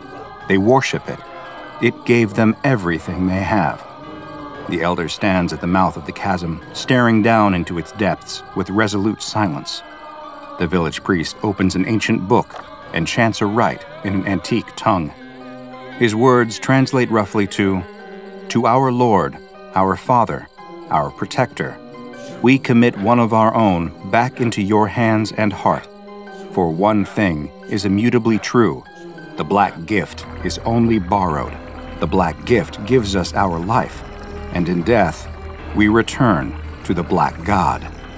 As he goes on, something rises from the pit, tendrils molded from liquid dark. They reach out and embrace the elder, tenderly wrapping around him and lifting him from the ground. He doesn't scream, though. He simply accepts his fate as the villagers pray and the tendrils pull him down into the dark. When their prayer is done, there is only silence. The torches go out. The villagers return home. It's just another night for them. There is a village in the deepest, darkest reaches of Eastern Europe, a place forgotten by time, where the locals live by old rules and even older gods. A place where strange rituals occur and people with unnatural abilities thrive. And beneath it all, the blood of a hungry, curious god runs in endless, dark rivers. It goes without saying, something incredibly strange is afoot in Chemnosht, Poland, and the SCP Foundation have designated the heart of the strangeness as SCP 6198. However, the decidedly peculiar locals have a very different name for the phenomenon Chernobog, Old Slavic for the Black God, an ancient deity said to rule dark fates and the underworld. And considering the events that unfolded in the incredibly old, incredibly isolated village of Chemnosht, this is a reputation that Chernobog has very much earned. Sadly, several members of Foundation personnel had to learn this the hard way. The Foundation first discovered the village when they intercepted strange communications from the local authorities investigating a missing persons case from the lower Silesian Forest region. While searching for this missing person, Polish police found a series of strange, dark chasms in the ground, each one leading down to a deep, mysterious pit filled with black liquid. This was enough for the Foundation to realize something anomalous was likely occurring here prompting them to step in and intervene. Before the authorities could arrange any potentially dangerous excursions into one of these chasms, the SCP Foundation showed up under the guise of Poland's Ministry of Public Security and relieved them of their duties. They designated the strange black liquid in the chasms SCP 6198 B and the chasms themselves as SCP 6198 C. Thankfully, while the locals weren't exactly rolling out the welcome wagon, they didn't show active hostility either. Most simply appeared wary and kept their distance, watching Foundation activities from inside their homes and staying out of the way of researchers and guards. Early on, one of the biggest issues was the communication barrier, as the majority of the village spoke an otherwise dead Proto Slavic dialect that seemed impenetrable, even to modern Polish speakers. Linguistic experts became key to facilitating later communications between Foundation personnel and residents of the village. The residents of the village were all quite old, but appeared unusually youthful for their ages. They were all worshippers of Chernobog, and the villagers claimed that through worshipping Chernobog, they were given the Black Gift, facilitated by imbibing the dark liquid from the chasms, which they credited with their health, youth, and longevity. The Foundation was obviously interested in figuring out just what exactly this black liquid was, so they began their studying in earnest. But they soon realized something very strange the chasms, were not always there. It seemed that they would only appear for 14 day periods between the new and full moon. The initial exploration into the heart of the village was performed by two intrepid field agents, Agent Kazimierz Nowak and Agent Maria Bakula.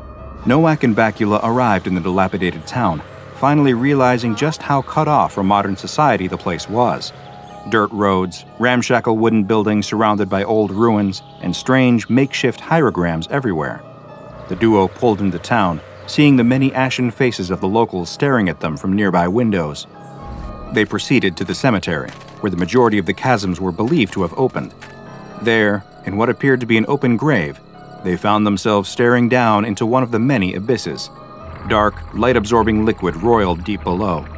However, they soon realized that it was time to go when they noticed locals hiding behind the gravestones around them, watching intently. Something was very wrong here. They traveled back into the center of the village, still keenly aware that they were being observed from the sidelines. They approached one of the many houses and attempted to knock. An extremely old woman peered out of the window and began speaking to them in Proto Slavic, which neither of them could understand. However, as they were leaving, one of them was able to swipe a leather bound book from a table outside the home, believed to be some kind of Bible for the local religion. While still in town and still being watched, the duo collected a sample of the black gift from a local well, then began making their way back to their vehicle. The whole time, they were followed by an eerie old man who looked to be in his 90s, but was surprisingly spry for his age. The two left shortly after that and shared their findings and samples with their superiors. The leather bound book retrieved by Agent Nowak and Agent Bakula was given to SCP Foundation linguistic expert researcher Albin Iskra. Researcher Iskra quickly became enraptured with the book and the unique challenge it and its Proto Slavic dialect presented. After many long nights of poring over books on Slavic linguistic history and many pots of very strong coffee, researcher Iskra's work finally bore fruit. In a note to other personnel working on the SCP 6198 case, she wrote Let me start by saying that, despite my extensive knowledge of the history and origins of Slavic language, this is the first time I've ever encountered what appears to be Proto Slavic in written form from a direct descendant source. This is a truly fascinating discovery. Initial progress on translating the text was slower than expected. There's something about the linguistic structure of the language that, for reasons I can't fully deduce, make it incredibly difficult to retain the knowledge of. For every few words committed to memory, it's as though one dissipates from it. It's as if I can feel a sense of reluctance coming from the language itself. Eventually, I was able to solidify my understanding enough to begin picking at the various passages found throughout. I can confirm that the contents of the book hold a great deal of religious significance, not only for those in Chemnosht, but throughout all Slavic culture, dating back to roughly the 4th century. While there are references to the more well known Slavic gods, such as Perun and Veles, the book focuses primarily on one of the sibling successor gods, Chernobog, the Black God, detailing various prayers, rituals, and tenets that followers of the Black God should live by and practice. I've highlighted a selection of excerpts of notable interest that may shed some light on the occurrences witnessed by Foundation personnel. Three areas of interest in researcher Iskra's translation are the Rite of the Black Passage, Expurgation and the Black Gift, and the Fall of Veles, each of which, in their own way, shed some light and some darkness on the cryptic happenings of Chemnosht. The section on the rite of the Black Passage read, For it is to him where the dead must go and return to the roiling abyss from which our forms are molded to be one again with Him. In this, we share in their fathomless knowledge and learn of untold and forgotten epics, unfurling mysteries of Stygian transcendence, bestowed with blessings beyond death. At darkest hour, on darkest night, within lamented dwelling hollows, shall Hypogean thresholds unveil entwining submerged departed. Now relinquished of tethers corporeal, and sustained amidst black waters, become one with perennial ancestry, granting insight to those adherent.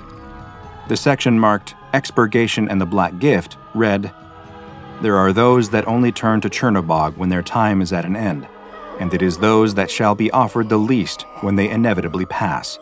To live solely in the light of the brother is to neglect the eternity that follows, condemning oneself to the lowest echelons of consciousness.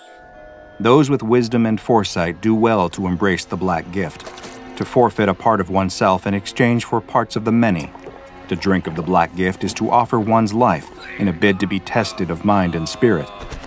Should one be deemed worthy, that which was offered will be returned, but with boundless acuity and vigor. Should one's offering fall short, their essence is given to the black god entirely. Yet, the truer they walk the black path, the more openly their soul shall be welcomed. Before one is to be tested, they must first be expurgated through ritual, else any sense of self is lost upon passing.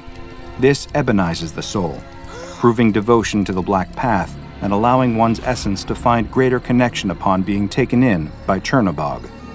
The ritual must be carried out by followers in the living realm now sustained by the black gift, with these followers bringing about a trance of blindness and drowning within the aspirant. Should an aspirant prove resolute throughout this trial of panic terror and asphyxiation, the black gift is then offered and true judgment begins. And finally, the section labeled The Fall of Veles offers a mythological origin for the black god Chernobog himself. It read Veles, god of the harvest, livestock, earth, rivers, the underworld, magic, and trickery.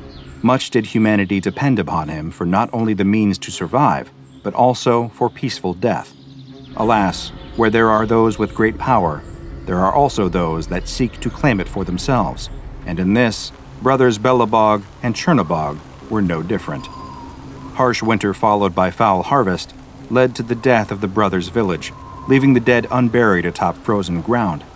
Enraged at the neglect Veles had dealt them, and adamant that between them they could govern the lands of the living and the dead better than the great god, the brothers set out in search of Veles, their minds intent on deicide. In their journeys, the brothers overcome many challenges, redoubling their affinity in magic and honing their cunning in warfare, Belobog excelling in martial guile, as Chernobog mastered the spell. However, Veles watched the brothers, aware of their quest. In a bid to undermine them, Veles returned the body of their mother to the living world to convince them to return home with her. The brothers were not fooled, and with a heavy heart, returned their mother to the underworld. Veles continued to break their will, turning the food they gathered rotten. But again, the brothers were not fooled, as they endured putrid illusion of smell and taste, knowing that in truth what they consumed would nourish them. Every trick cast down by Veles was foreseen and averted, until eventually, frustrated at the brothers' tenacity, Veles himself confronted Belobog and Chernobog. Veles challenged the brothers to battle, offering his godhood should they best him, but on the condition that only one may fight him. Suspecting that Veles may attempt to divide the two, the brothers had made a pact with Perun, Veles's adversary. The brothers agreed that Veles would indeed fight only a single combatant, to which Veles acknowledged and drew up a boundary from which to battle within. When asked who shall fight, the brothers announced Perun, and upon uttering his name, the god of thunder appeared with a great flash within the boundary. A battle of world shattering magnitude commenced as Veles took the form of a dragon and Perun harnessed the power of the skies. Despite his skill in magic and deceit, Veles was struck down and killed by Perun. With Veles dead, Belobog claimed domain over harvest, the earth, and livestock, as Chernobog claimed the underworld, the rivers, and magic.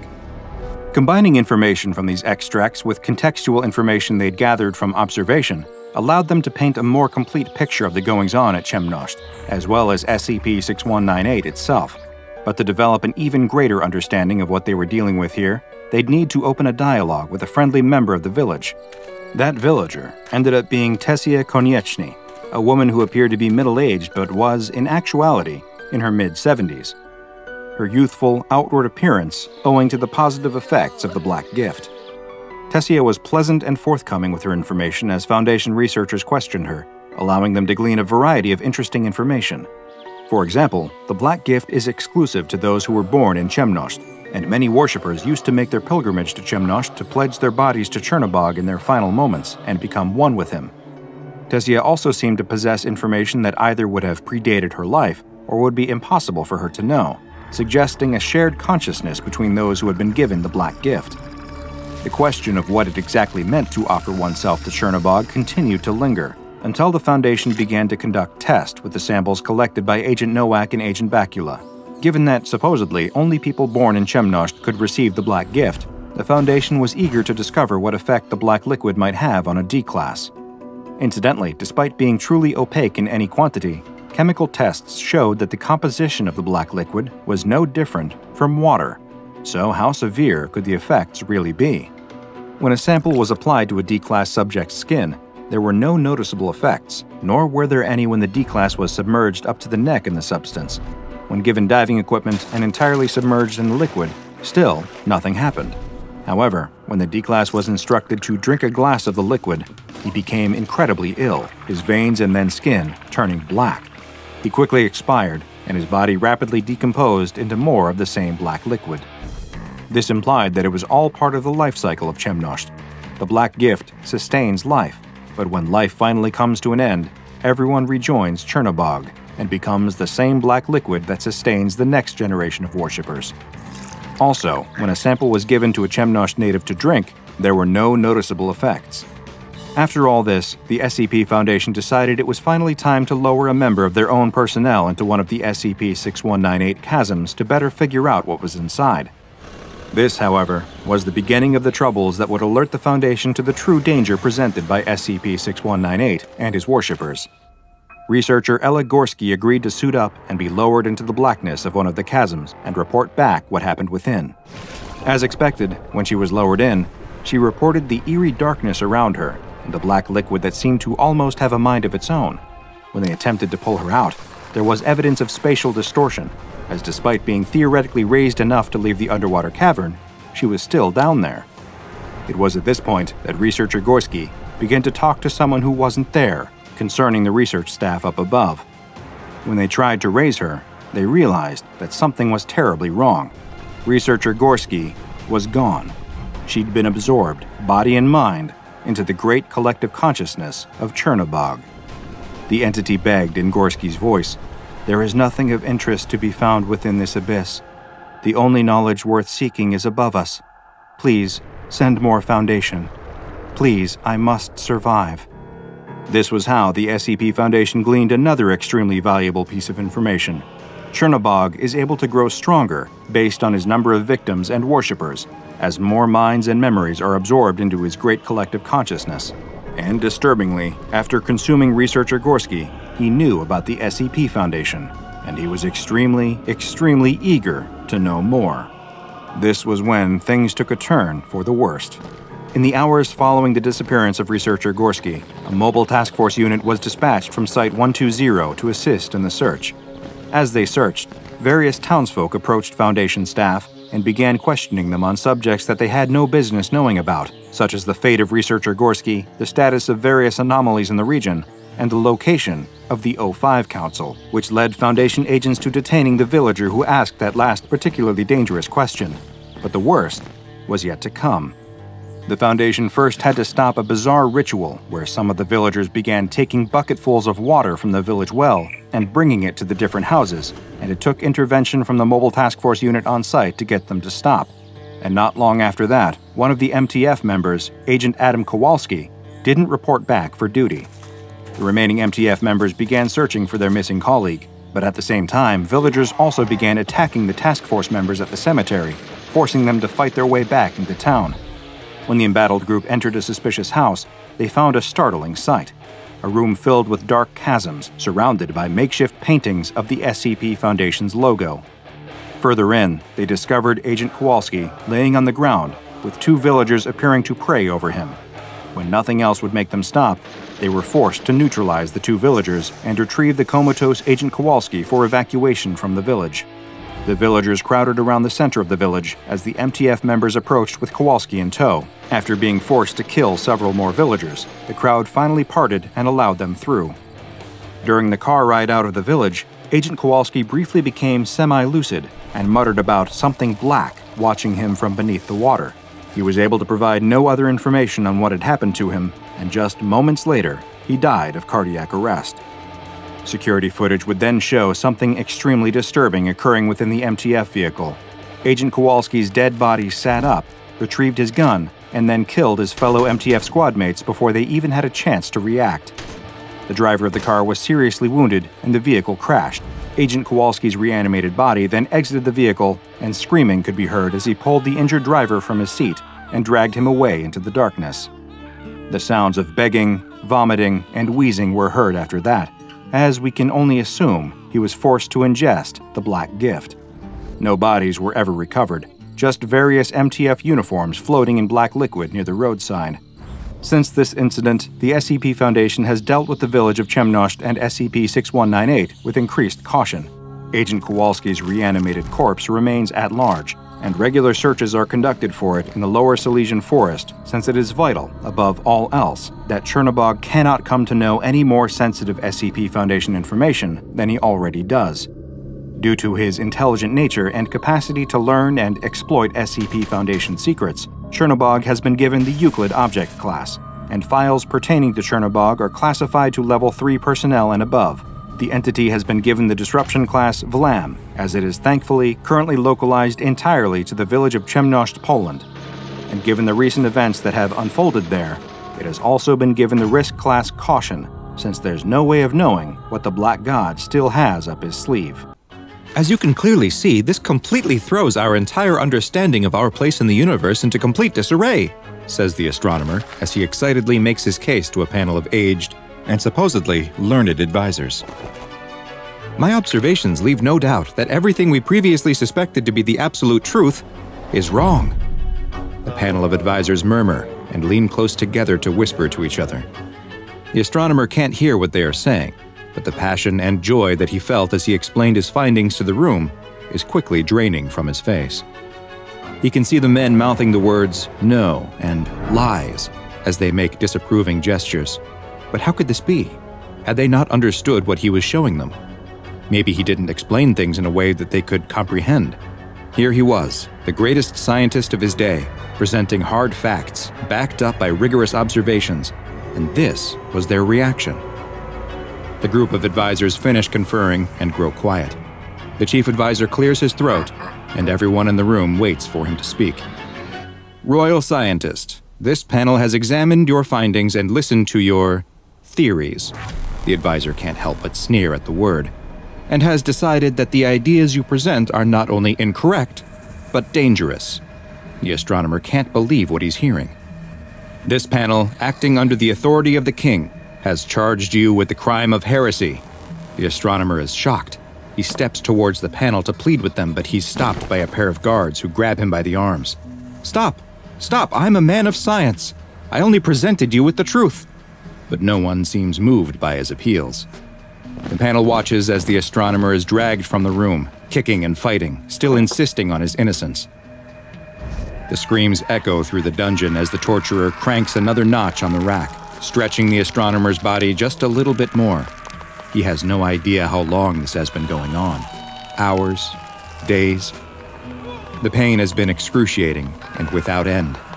He closes his eyes, trying to escape the torture by retreating into his mind, but he's slapped on the face and brought back to the reality of his situation. Standing in front of him is the chief advisor, the same one who sentenced him to this inhumane treatment. You can end this any time you like. Simply recant your statements and admit you were mistaken, and all of this will be over. The astronomer is unsure if by over he means that they will release him or simply kill him to put him out of his misery. But it didn't matter which the right answer was, he couldn't lie. The astronomer knew the truth, and no amount of pain, no matter how intense or how long they submitted him to it, would change what he now knew. Disappointed with the astronomer's steadfastness, the advisor signals to the torturer, who cranks the rack again, stretching the astronomer's body to the point where he feels like his bones might pop out of their sockets. Recant, the advisor screams, repeating the word over and over, growing louder as the astronomer's own cries increase from the pain caused by the torturer cranking the rack more and more. The astronomer closes his eyes again. He's certain this will be the end of him soon and that he will die with the great secret he's learned without getting the chance to share it with the world. But suddenly, the astronomer notices that the room has gone quiet. The advisor is no longer yelling, and the torturer has stopped operating the machine. The astronomer opens his eyes to see the advisor and the torturer both in a deep bow. His gaze continues up, and he sees the king himself standing in front of him. The king stares at the astronomer for what feels like an eternity before simply asking, is it true? The astronomer, limbs still stretched on the rack, manages a nod, and with his remaining strength whispers, It's true. The king motions with his hand to the torturer, who stands up and begins releasing the astronomer from his constraints. The advisor protests, But my lord, this man. But he's cut off by the king with a stern look and retreats back into his deep bow. Show me, the king says, as the astronomer stands rubbing his sore shoulders where the tendons and muscles were stretched far beyond their natural limits. The astronomer opens the door to his laboratory and gestures for the king to enter. The room is a mess of papers and scientific equipment, a reflection of the busy and scattered mind of the man who works here. The king is immediately drawn to a table with a large scroll. He spreads it across the table and examines it, but his face betrays no hint of what he is thinking. Is this what you showed my advisors? The astronomer nods yes. Would you like to see for yourself? The astronomer motions to the window, where a brass tube is attached to a tripod. The king approaches the device, but doesn't know how it works. The astronomer demonstrates by looking through the eyepiece. He moves it slightly, making small adjustments to make sure it is just right for the king. There, now look. The king bends over to peer through the telescope, and a look of shock comes over his face. What he sees is the most incredible thing he has ever witnessed. There, far above up in the sky, unable to be seen by the naked eye, is a man, and he is staring back at him. The planet that this played out on was not Earth, but a bizarre place that is one of the strangest anomalies in the entire SCP Foundation archive. This is SCP 007, also known as Abdominal Planet. SCP 007 is a spherical object located in the abdomen of a young man, or rather, in the space where his abdomen should be, since most of the muscle, skin, and organs that should be present simply are not. The subject, a Caucasian male in his mid 20s of average height and build, does not appear affected by the large missing portion of his body and has not reported experiencing pain or discomfort of any kind. In the space where his abdominal muscles and organs should be is a small globe composed of soil and water. This sphere, which measures roughly 60 centimeters in diameter, resembles the planet Earth, though the arrangement of the continents does not match any known configuration from our own planet's history. The tiny planet has its own weather patterns and even a small, but still detectable, gravitational pull. Perhaps the most fascinating aspect of SCP 007 is that it appears to be inhabited Microscopic organisms that would correspond to roughly the scale of human beings on Earth have been observed on the surface of the planet. So far, two distinct intelligent species have been identified, both of whom seem to possess a technological level similar to the 15th century on Earth. It is unknown if the inhabitants of the abdominal planet are aware of the world outside of their planet, and communication attempts with the planet's occupants have been placed on hold by senior Foundation officials, pending further study into what effect an exchange may have on them or us. The human subject within which SCP 007 is located provided the Foundation with a name that he claims to be his, but no records of such a person existing have yet to be located. Upon being questioned about the lack of records, he willfully offered both a social security and driver's license number, but when they were checked against current records, neither had yet to be assigned by the US government. And the mysteries surrounding this man don't stop there. The subject has not shown the need for either food or water, and it is unknown what energy source his body continues to operate on without nutrition. He is capable of both eating and drinking, though, despite the large missing section of his stomach. But it is still not known what happens to the substances after he swallows them. The man has above average intelligence and scored a 128 on an administered IQ test. He also generally appears friendly and amiable, and expresses only a passing curiosity about the planet located within his abdomen and how it came to be there. When asked about the origins of the planet, he replied very matter of factly that, I just woke up one day and there it was. I don't have any idea how it got there. Due to the poorly understood nature of SCP 007, it has been classified as Euclid, and the small planet and the man it resides in are contained in a sealed, comfortably furnished 10 by 10 meter room that the subject is not allowed to leave. The subject is to be monitored closely by Foundation staff and has a weekly chess game with one of the attending doctors, which also serves as an opportunity to evaluate his mental health. So far, he has not shown any signs of mental illness or violent tendencies, and seems to be quite content in general, he appears happy with his restricted living situation inside the Foundation facility and has made no attempts to escape.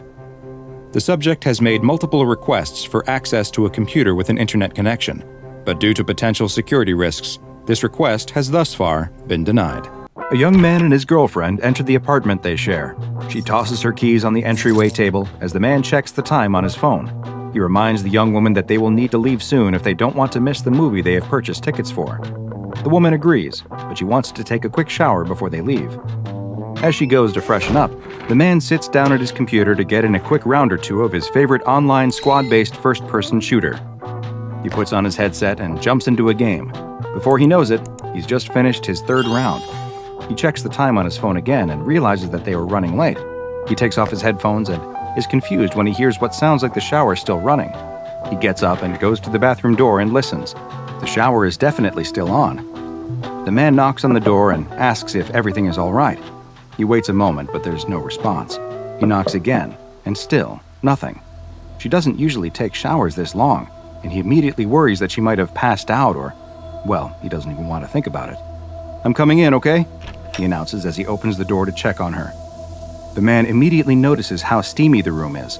The hot water must have been running for a while, and he's worried she really did pass out from the heat. What's going on? Are you okay? He asks, and when there's no response again, he pulls open the shower curtain to find nothing. Just an empty tub. There's no sign of his girlfriend anywhere. The man is beyond confused. He turns off the water and goes to the bedroom, but she isn't in there either. He runs to the front door, but it's still locked, and her keys are sitting on the table. He unlocks the door and sticks his head out into the hallway anyway, but nothing is out there. What is going on? He checks the bedroom again, then the bathroom, but she hasn't suddenly reappeared in either. He's in complete shock, unsure of what could be happening. He sits down on the toilet and puts his head in his hands. His head is spinning as it feels like the world is suddenly falling down all around him. The police are immediately suspicious of the man's story. His girlfriend simply vanished while taking a shower? You expect us to believe that? The detective asks. The man has no answer, though. It's as if she simply blinked out of existence. He's convinced she must still be in the building somewhere, that she somehow slipped out without him noticing. But none of the security footage from inside the building shows anything abnormal.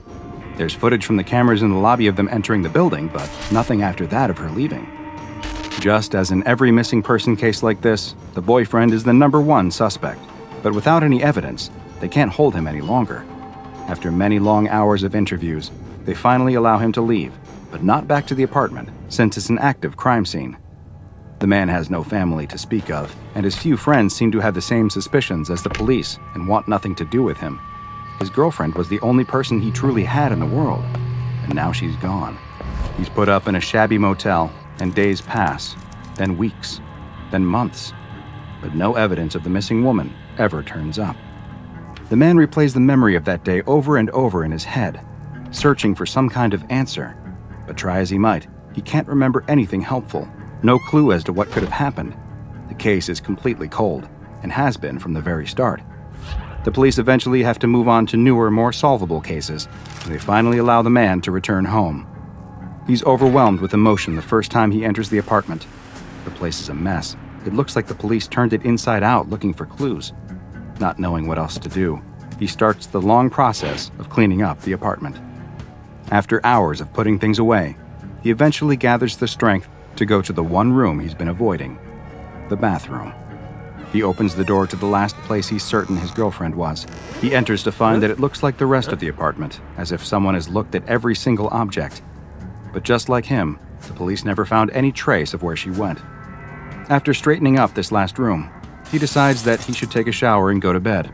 It fills him with dread to think about standing in the last place he knows where she was, but he's had months to grieve the loss of his girlfriend and he's decided that he needs to move on, whatever that means when someone goes missing without a trace. He turns on the shower and lets the water heat up before stepping in. Once he's in, every thought he has is about her. He wonders if she ever actually got in the shower at all, or somehow used it as a diversion to slip out unseen. He just can't figure out how. The day's events race through his mind, just as they have a thousand times before, but his thoughts are interrupted when he notices that the water has started to pool around his feet. He looks down and sees that the drain cover looks normal. Maybe there's a clog, though. Do showers clog when they're not used? He has no idea. He bends down to get a closer look. The long black creature emerges from the drain in the blink of an eye and latches onto his mouth, muffling him before he even has a chance to scream. He struggles and pulls down the curtain on top of him as he falls back onto the shower floor. But it's already too late. And in a matter of minutes, he too will be gone without a trace.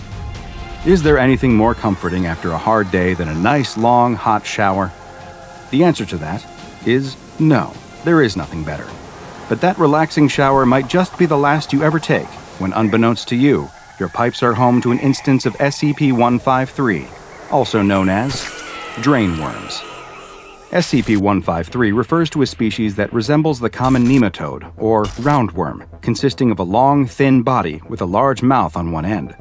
While some roundworms can grow to as large as a meter long, which is in itself a disturbing thought, SCP-153 instances can be much, much larger, and it is estimated that they can reach up to nearly 10 meters in length, though it is hypothesized that some instances in the wild may grow even longer these worm like creatures will feed off of any available organic material. However, their favorite form of sustenance is fresh animal tissue, and they appear to have an especially strong predilection towards human flesh. In order to satiate their desire to feed on their preferred prey, SCP 153 has developed a rather unique predatory style that perfectly suits its elongated body structure. While it is unknown just where they originate, they are most often found in the pipes of sewer and drainage systems, 153 instances will swim up those pipes, seeking out ones that lead to people's homes, and especially those that connect to showers and bathtubs. Once they reach the end of the pipe, SCP 153 will latch onto the drain cover and begin secreting an acidic substance. The acid quickly dissolves the drain cover, and SCP 153 will position its own mouth in its place, which it then is able to camouflage as the missing drain cover almost perfectly. Once SCP 153 has taken this position, it is virtually impossible to distinguish it from the original or discern that anything has changed. SCP 153 will then lie in wait until it detects that someone has entered the shower or bathtub. Once the unsuspecting person has begun to bathe, it will very quickly emerge from the drain, latching onto the victim's face, most likely in order to prevent them from calling for help. It then begins to rapidly secrete more of the same acid that it used to dissolve the drain cover. With how effectively it was able to dissolve metal, it's no surprise that SCP 153 is able to quickly produce the same effect on its victim. Their skin, muscle, and bone will all be almost immediately liquefied, allowing SCP 153 to feed on the slurry. And the drain worms feed extremely quickly as well.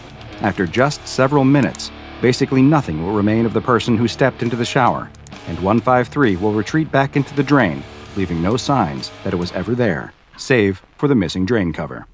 The SCP Foundation became aware of this anomaly following multiple mysterious missing person cases that all had one key element in common. Each was reported as having disappeared after entering a bathroom to either shower or take a bath. The Foundation soon discovered that large populations of SCP 153 instances were living in the sewers beneath several major American cities and immediately began enacting containment procedures. The Foundation collected as many specimens as they could and brought them to Bioresearch Area 12 where they keep them contained in 10 by 10 by 5 meter tanks that are kept partially filled with sewage and other organic material for them to feed on. Of course, it is of the utmost importance that these containers are never connected to any other plumbing systems, either internal or external. With several specimens contained, the Foundation began researching the creatures in order to hopefully better understand them and how they were able to develop such complex hunting techniques. Research was also approved to find out whether they could be used as a sort of waste disposal system in certain extreme circumstances, such as with SCP 2717, a mass of living animal tissue that has grown to line nearly 4 kilometers of sewer pipes beneath Amsterdam. A small number of SCP 153 instances were approved for release into the wild in order to test whether they could stall the spread of 2717. However, this experiment was halted following some disturbing new reports. More missing person reports came to the Foundation's attention that bore the hallmarks of an SCP 153 attack. But these new reports were not limited to people who vanished after bathing. It now appears that SCP 153 has further adapted and has begun to emerge not just from showers and bathtub drains, but now also from sinks and, yes, even toilets. The Foundation is unaware of just how many instances of SCP 153 continue to exist in the wild but there's no doubt that many continue to live and hunt undetected in sewers around the world. This anomaly, which has been classified as Euclid, is taken very seriously by the Foundation, and any reports of people who go missing from bathrooms are immediately investigated for signs of SCP 153. Field agents are to be equipped with infrared and ultraviolet sensors, which can bypass SCP 153's camouflage, and if specimens are able to be captured alive, then they are to be brought to Area 12 for further research. But don't bother worrying too much the next time you step into the tub. If you've been targeted by SCP 153, there's not much you'll be able to do anyway, and your worries will soon be going down the drain, along with whatever remains of you. Two recreational divers are swimming along the seafloor nearly a hundred feet below the surface. This husband and wife duo are no strangers to scuba diving, and they move effortlessly through the water as they marvel at the various fish and plant life that normally remain unseen by humans. The woman taps her husband on the shoulder and points in the direction of a forest of kelp before starting to swim towards it. The man is about to follow when he sees something out of the corner of his eye. He stops and turns to get a better look. A few dozen meters away is a group of people. The man is confused. He looks back towards his wife, who is motioning for him to follow her. He raises a single finger as if to say, I'll be with you in a minute, and starts to swim in the direction of the strange crowd of people standing on the seafloor. He still can't make out exactly what he's looking at. A light current is causing silt to kick up and hang in the air, obscuring his view. As he gets closer, though, everything becomes clear. It really is a group of people, standing perfectly still, 30 meters underwater. But they aren't living people, of course. They are statues. The man can see now that these are statues of children. They're standing in a circle, facing outwards, and each one is holding hands with the statues next to them, forming an unbroken ring. He swims closer to get a better look. The statues are covered in algae and other plant life. He doesn't know who or why someone would make this strange art piece, but whatever their reasons, it looks like it's been down here a long time. He swims around the circle and counts more than 20 in total, with each one looking to be unique. While the center of the circle of statues is empty, there's pieces of bricks and concrete scattered all around it. There used to be something down here, a building or some kind of structure that once housed the statues and has now collapsed. It seems impossible that anything could have ever been built down here. He looks back in the direction of his wife, but he can't see her. She must be somewhere along the kelp investigating her own mysteries. He's about to head in her direction when he notices something. The inside of the circle isn't empty. Something is inside, sticking out of the sand. He swims up above the ring to get a better look. There's definitely something buried in the circle of statues. He can see now that it is the corner of what looks to be a metal box. He swims down closer to the box and reaches a hand out towards it when he suddenly stops and looks up. The woman swims out of the dense kelp forest carrying a brightly colored shell. She can't wait to show her husband how beautiful it is. She looks around, but there's no sign of him. She looks in the direction that he swam and spots the same strange group of people that he did. As she swims towards them, she also quickly realizes that these are just statues. Very odd ones, but statues nonetheless. She also notices the rubble that surrounds them the broken chunks of concrete, bricks, some bones. Wait, bones? That's when she spots something else lying on the ocean floor just outside the ring of statues. It's her husband's scuba tank, with his shattered mask resting on top.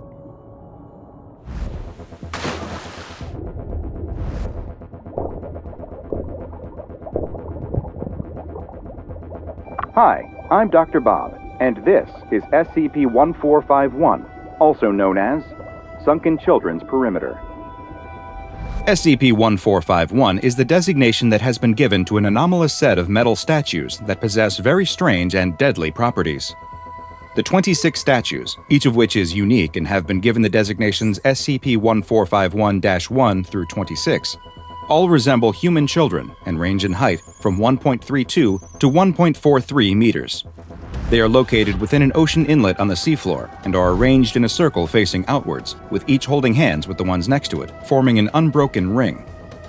These statues are anything but stationary, though, at least some of the time, and in fact, they have three distinct stages of motion, which the SCP Foundation refers to as Class 1 through 3 scenarios. The first, a Class 1 scenario, is the designation given when no movement is detected at all. This is the state that the statues appear to spend the majority of their time in, the designation will change to Class 2 when some slight movement of the statues is detected. In this state, they can be seen to slowly raise and lower their hands, while also subtly moving together in a counterclockwise direction. Bubbles have been observed coming from the statues' mouths during this scenario. SCP-1451 will be seen to behave this way when a large object comes near it, and it will often mean that the statues are preparing to transition into a Class 3 scenario. A Class 3 scenario will be triggered when a solid object that weighs more than 40 grams enters the center of the circle. When the object, whether it be a living one or not, enters this activation area, the statues will fully animate and turn their attention on the object with only one purpose to destroy it. When the statues enter a Class 3 scenario, they exhibit incredible strength and agility. They appear to possess at least a rudimentary form of intelligence as well, as they have been seen utilizing teamwork and advanced tactics. Once the statues have been activated, they are relentless in the pursuit of their targets, stopping at nothing to neutralize them. Should you manage to make it out of the activation area, the statues will still continue to give chase, and in one case, they followed a target over a kilometer before finally overtaking it. Once they get their hands on a target, death and destruction are all but assured. They will rip and tear anything that enters their circle apart, be it man or machine, with their metallic hands. Once they have eliminated the object, the statues will then return to their Class 1 scenario position. Attempts to intercept the statues as they return to their activation area will lead to what the Foundation has dubbed a Class 3.5 scenario, during which they will destroy anyone or anything that tries to intervene or prevent them from reaching their destination.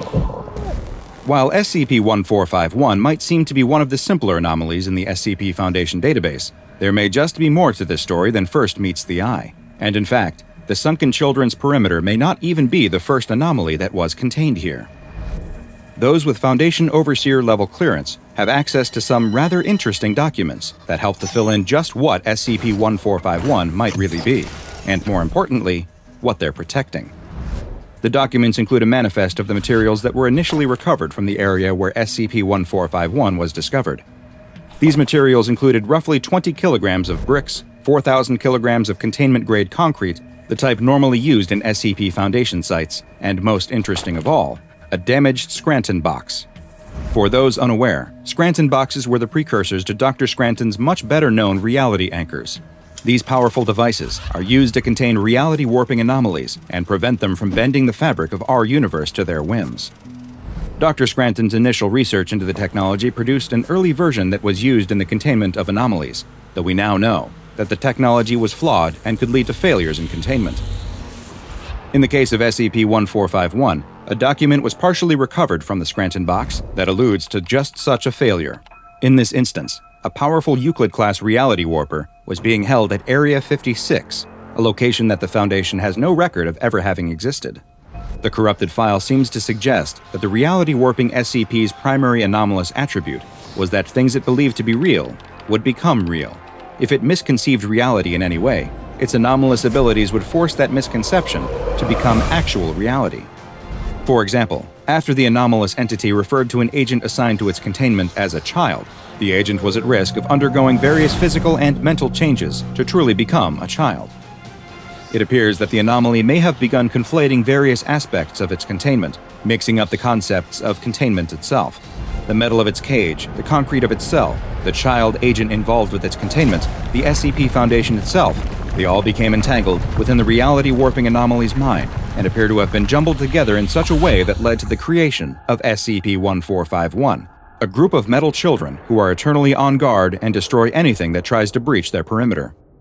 Just what happened to Area 56, the personnel who were stationed there, or the powerful reality warping anomaly they contained, continues to be a mystery. SCP 1451 has been classified as Euclid and is considered to be effectively contained at its current location. A sphere of wire mesh netting has been erected around it in order to ensure that no objects enter its activation area. But in the event that an object does manage to enter the circle, the statues are to be remotely monitored, and no attempts whatsoever are to be made to try and rescue the person or object that triggered the Class 3 scenario. The 13 year old boy gets a running start before leaping across from one moss covered boulder to another. He barely makes the jump and turns around to admire how far he leaped. He continues along through the woods, hopping over streams and making sure to swing on any hanging vines he can find, whether he needs to or not. He picks up a branch and starts to swing it against a tree, engaging in a life and death duel with the evil knight of the woods. After slaying the knight, the boy solemnly salutes his fallen foe before mounting his trusty steed to ride deeper into the forest.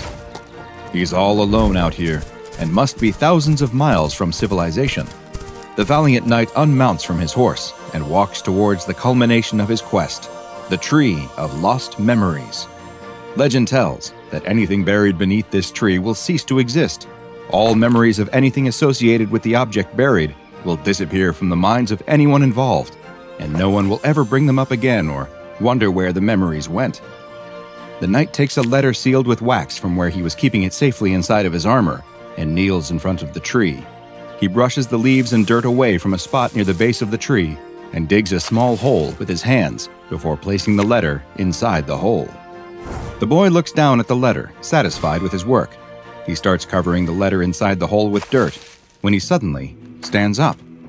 Was that a noise? He listens again. It's not just a noise, it's a voice. The knight unsheathes his sword and starts making his way in the direction he can hear the sounds coming from. He follows a game trail through the woods towards the noise. There's no doubt, it's definitely a voice, and he can make it out clearly now. The wheel of history turns, and ages come and pass, leaving memories that become legend. The knight rounds a corner, and the woods open up into a clearing. In the middle of the grassy open area is a stone archway unconnected to any walls. When looking through the archway, though, one doesn't simply see the other side of the clearing. No, inside the archway is a beautiful white alabaster castle perched on rock overlooking the sea, its red roofed turrets jutting high up into the clouds. And standing next to the archway that seems to lead to another land is an old man dressed in a long flowing robe, a wizard's robe. The boy steps out of the woods into the clearing. What is this old man doing out here? And what's going on with this archway? It really does look like it is showing something it shouldn't be able to. Legends fade to myth, and even myth is long forgotten when the age that gave it birth comes again. Are you talking to me? The boy asks. Venture forth and face your true calling, the wizard responds. You are the one that has been prophesied, but have you what it takes to enter this land of adventure? The boy looks around. There's no one else here. This old man must be speaking to him, right? The boy tosses his stick to the ground and steps closer to the old man in the archway. He can see now that the surface of the archway appears to be shimmering, as if it were a vertical surface of water. Only the truest of hearts may enter the magical archway, but for the fair and brave, a great quest awaits. A quest? For me? The boy asks. But again, the old man doesn't respond. He doesn't seem to be looking at him either. Is this wise old man in the woods blind?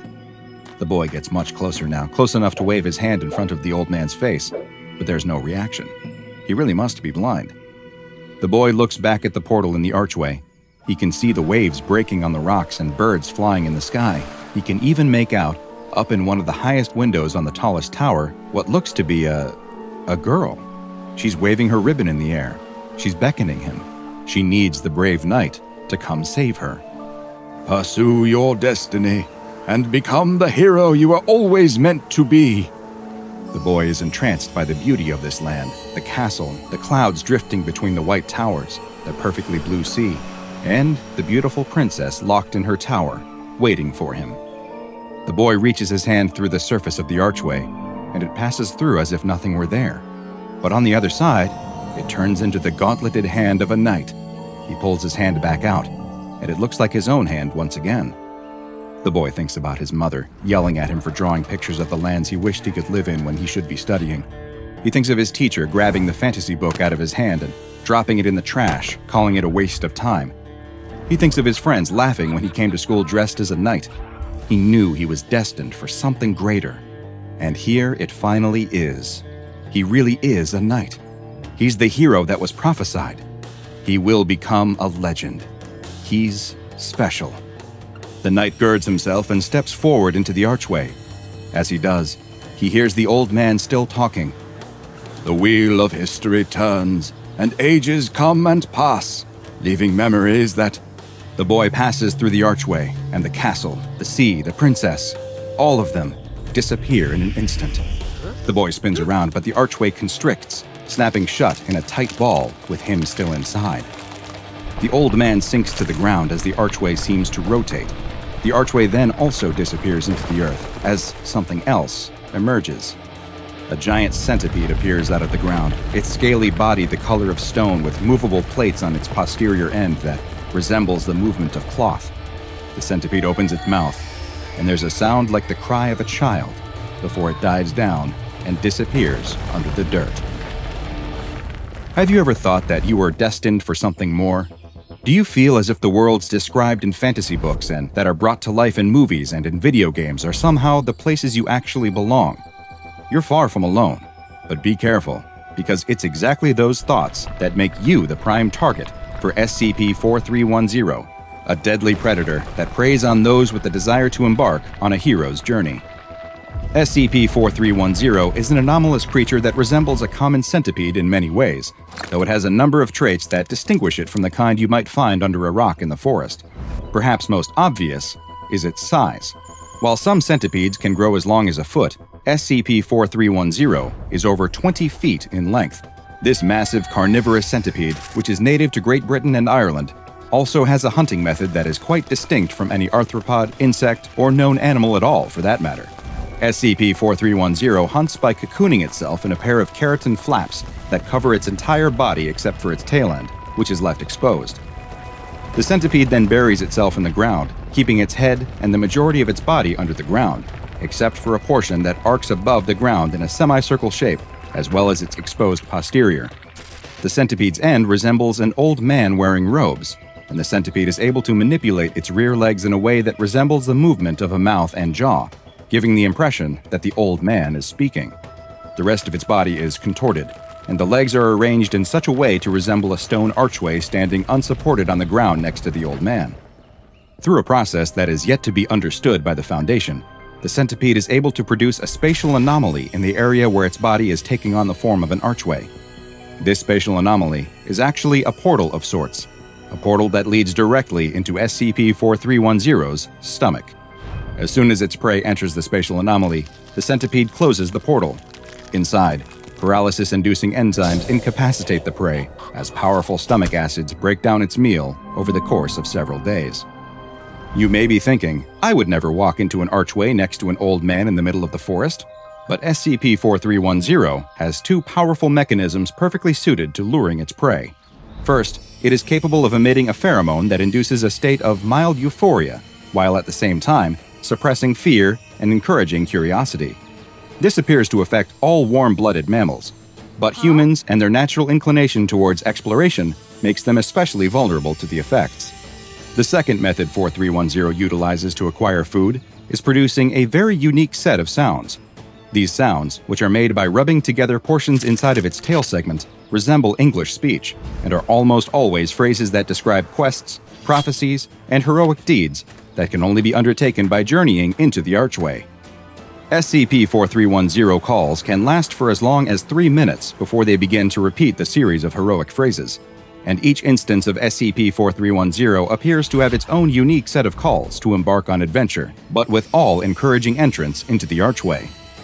It is unknown just how SCP-4310 learns these phrases, since, other than this advanced hunting technique, no instance of the anomalous creature has shown intelligence levels above that of an ordinary centipede. Interestingly, the same heroic speech sounds appear to also act as SCP-4310's mating call, and it is unknown if the luring of would-be adventurers by the noises is merely a lucky byproduct or if it specifically uses the sounds for both mating and eating. SCP-4310 became known to the SCP Foundation in the 1950s following an investigation into multiple missing persons in Belfast, Northern Ireland. Agents searched a nearby forest and soon discovered human teeth and animal droppings concentrated around a wooded grotto. The grotto was excavated and three instances of SCP 4310 were found hibernating beneath the ground. It's since been learned that after eating their fill, SCP 4310 will enter a hibernation state that can last as long as 10 years. And it appeared that these three instances ate well, since the remains of over 70 children were eventually found in the immediate area. SCP 4310 has been classified as Euclid, and currently, one instance is kept in a containment cell for observation and testing. The cell has been filled with a thick layer of soil resembling that found in the temperate forests of Great Britain, and once per week, five piglets are introduced into the centipede's enclosure. Mobile Task Force Lambda 12, codenamed Pest Control, is dispatched to areas where there are reports of old men resembling wizards encouraging people to step through a magical archway, and the MTF agents are to exterminate any instances that they find in the wild. The Foundation's Department of Analytics also monitors all contemporary British children's and young adult literature, especially the fantasy genre, for references to portals in the woods that lead to wondrous locations, and Lambda 12 is alerted to any that may be inspired by or referencing real SCP 4310 instances. All of us fantasize from time to time about embarking on an epic quest that will allow us to escape our regular lives. While it is fun to dream about being swept off to another world, be very careful if you meet an old man in the woods who tells you that your quest begins with stepping through a magical archway, or you might just find that your hero's journey starts and ends in the belly of a giant centipede. It's June 15, 1995, and it's also one of the most exciting days of the year for a very select group the Cedar Creek Parish Bible Study Group Field Trip. A band of 10 friendly faithfuls of all ages, shapes, and ethnicities borrowing the church bus for the weekend and heading out to the wilderness to admire some of God's creation. What's the point of spending all your days with your nose in the good book if you never appreciate the bounty of nature? As it was said in Genesis 2:15, the Lord God took the man and put him in the garden of Eden to work it and keep it. The group drives 3 hours out of town, along with hiking and camping gear, to a semi-mountainous region that the head of the group insists is a beautiful, picturesque location that will feel like a perfect break from the musty old church function room. It would be a wonderful place to remind them all what it was all about the splendid world God put them all on, and all the gifts He gave them.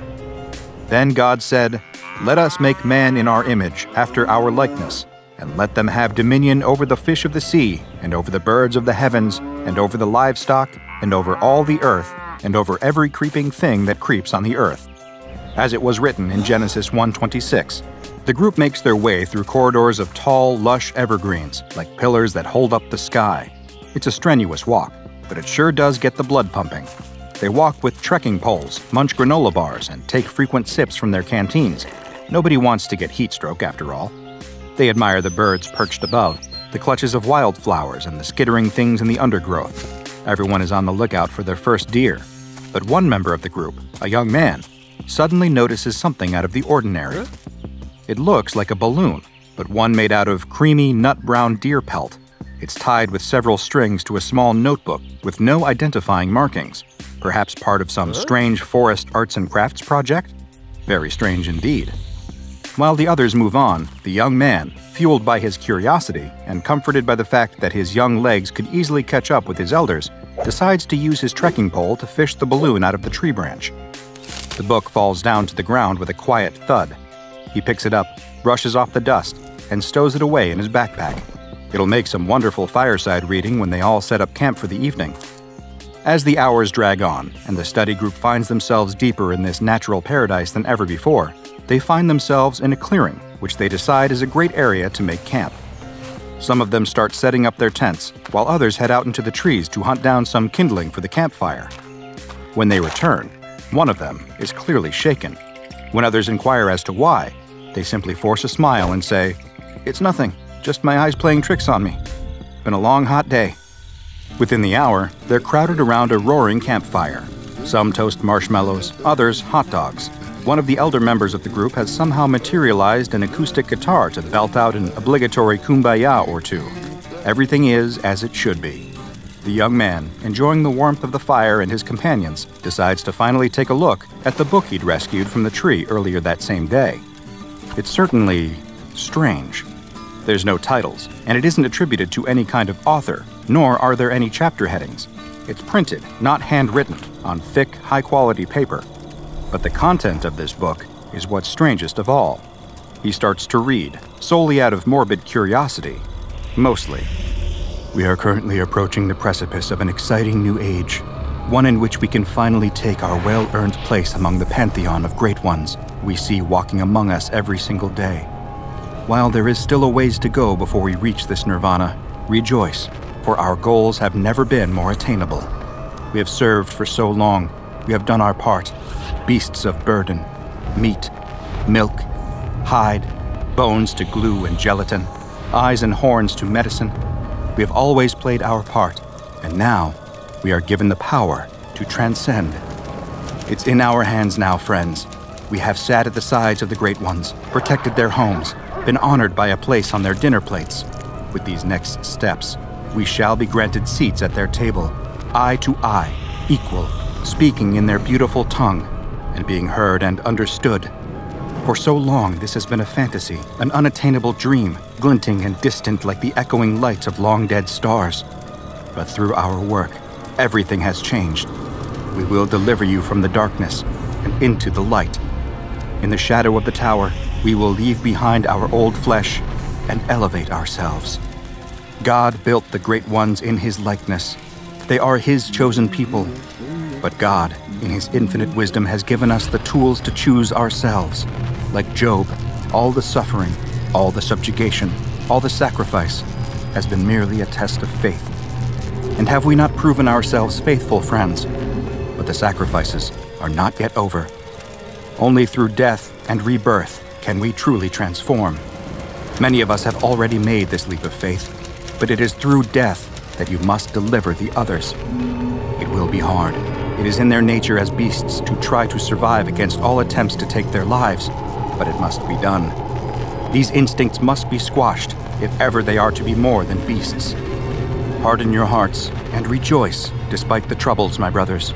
The time of great change will soon be at hand, but first, it is imperative that we cleanse the world for the great ones. The tower knows. The tower is your shepherd, and it must be followed. Simply remember whatever goes upon two legs is a friend. Whatever goes upon four legs or has wings is an enemy. Everything we do, we do in reverence of the Great Ones. The young man shivers and closes the book.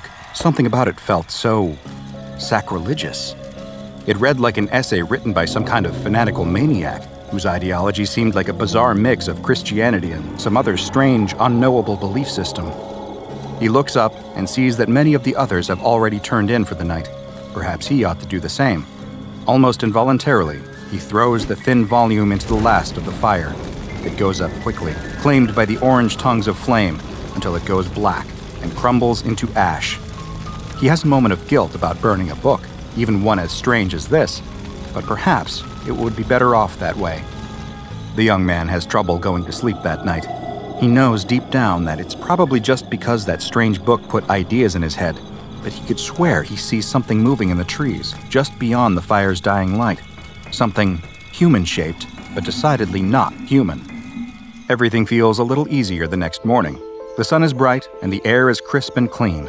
They're all ready for another day of walking even deeper into the forest. They clean up their campsite and press on further into the heart of the wilderness. As the group walks, the young man still can't shake the strange feeling he got from reading that book last night. Had it all just been some strange prank, perhaps? That's the conclusion he settles on, just for some peace of mind. The last thing he wants to think about is some crazed cult hiding out in the woods he and his fellow Bible students are currently hiking through. The kind of people who are strange enough to staunchly believe that the most effective method of preaching is distributing religious literature via animal pelt balloon. The young man is so wrapped up in his worries that he doesn't notice how much time or distance they're passing. Before he knows it, he looks up and sees something dark and tall cresting out of the ground several hundred feet in the distance. It's a great twisting metal tower in a clearing. A tower, just like it had said in the book. Something glows around its base, a number of strange openings in the ground like mine shafts. He can vaguely spot more strange shapes moving in and out of it at the base of the tower, more of those things that are shaped like humans, but aren't. And above that, above even the tower, little dots in the sky, more balloons carrying books. But none of the others seem to notice that. Instead, they're looking off to the side, staring at a large buck with tall, proud antlers standing amongst the trees. Some are gasping, others are taking pictures. The young man is desperately trying to turn their attention towards a tower that looked like it had come straight out of a fantasy novel, but they only had eyes for the deer. The thing that the young man hoped they would all see, though, would soon be demanding their attention. A pair of strange figures sprint out of the forest.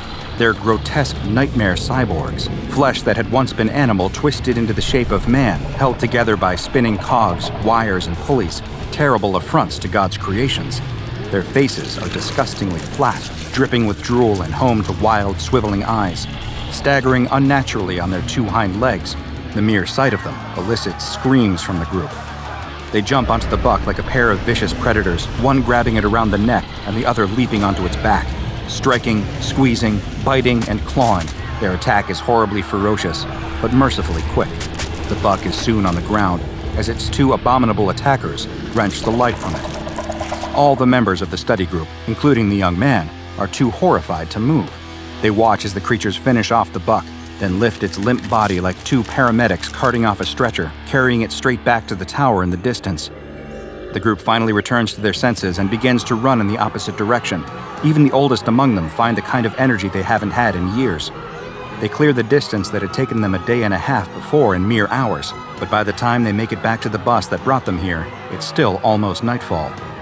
As they pile on, only the young man looks back.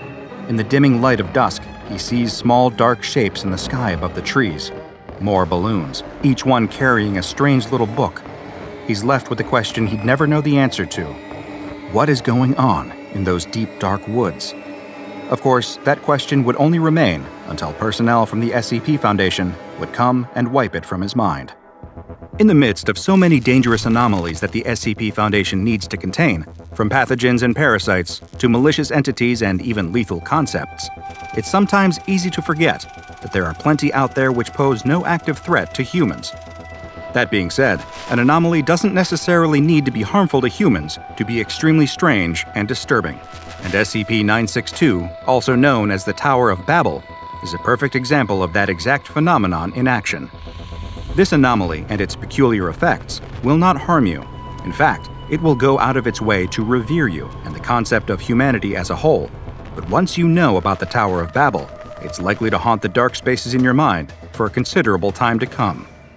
As the name suggests, SCP 962 is an impressive metal spire, currently recorded at 281 meters in height, which is over half the height of the Empire State Building.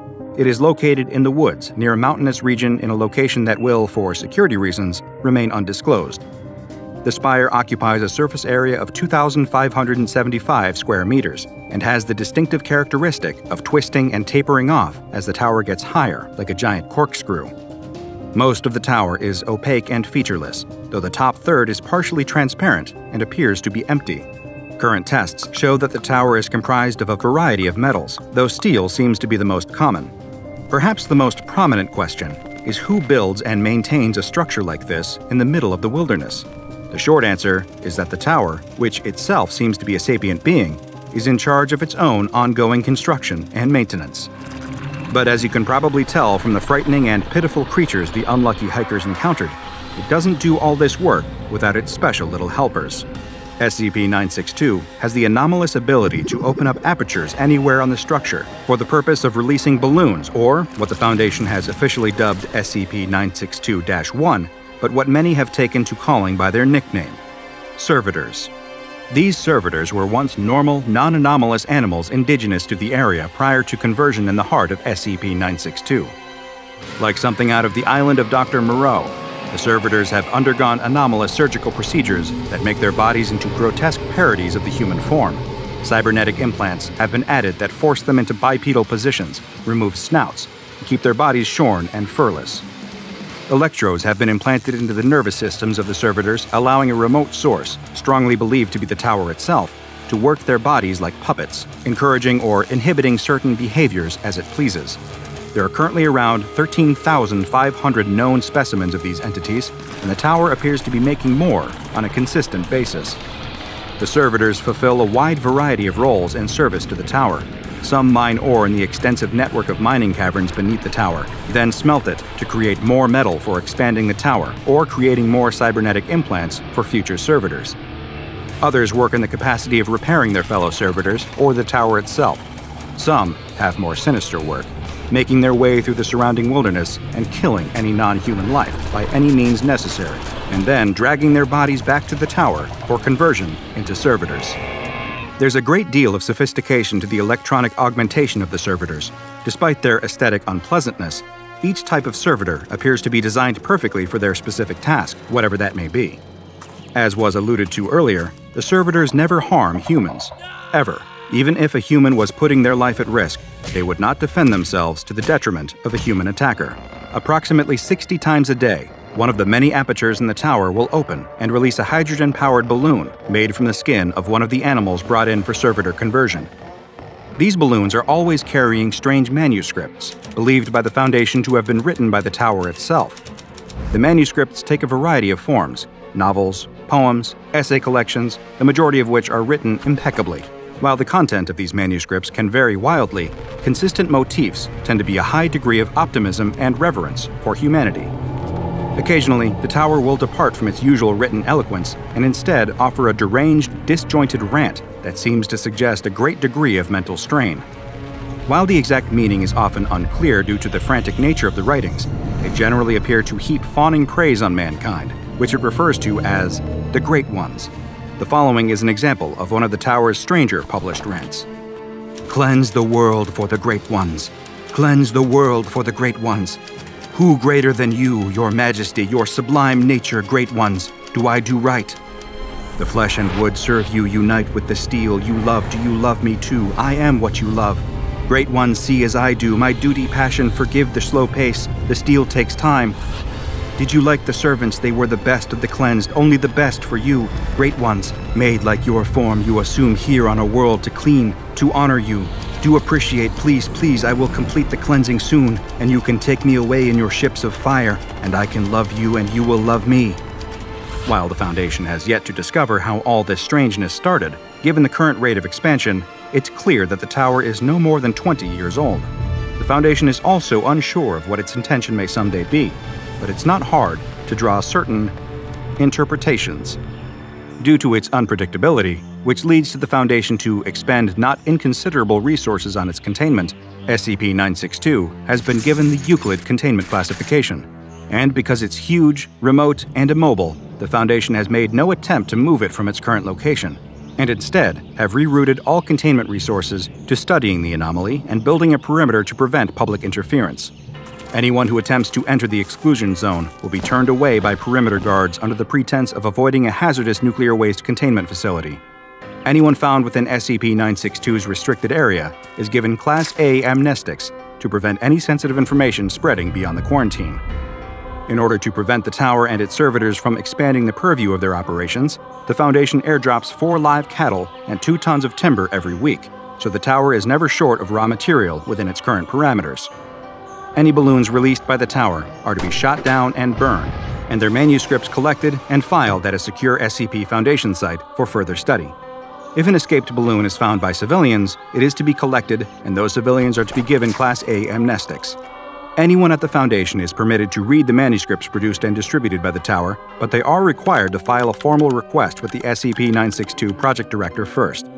I've spent a few evenings myself reading them over a cup of tea, and they're certainly stimulating, if a little tragic. They represent one of the anomalous world's greatest examples of the grass always being greener on the other side, since after all, why would anything aspire to be human? Don't humans have enough of their own problems to attend to? It's a beautiful morning in Hollywood, and the agent is already chattering on his mobile phone as his limo pulls up to his office. He considers himself a power player in this town, where image is everything. So he's never not talking on his mobile, it gives him an aura of importance, something that's extremely important in a career where what people think you can do is often more important than what you can really do.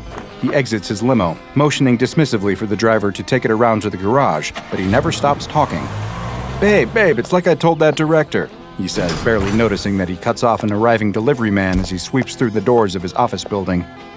If he wants you to be in his next movie, he's gonna have to treat you like the star that you are. Of course I said that. I've got your back, don't I? Who loves you, babe? Hold on a sec, I have to take another call. The agent lowers his sunglasses to peer at the caller ID and smiles broadly. His favorite client is calling.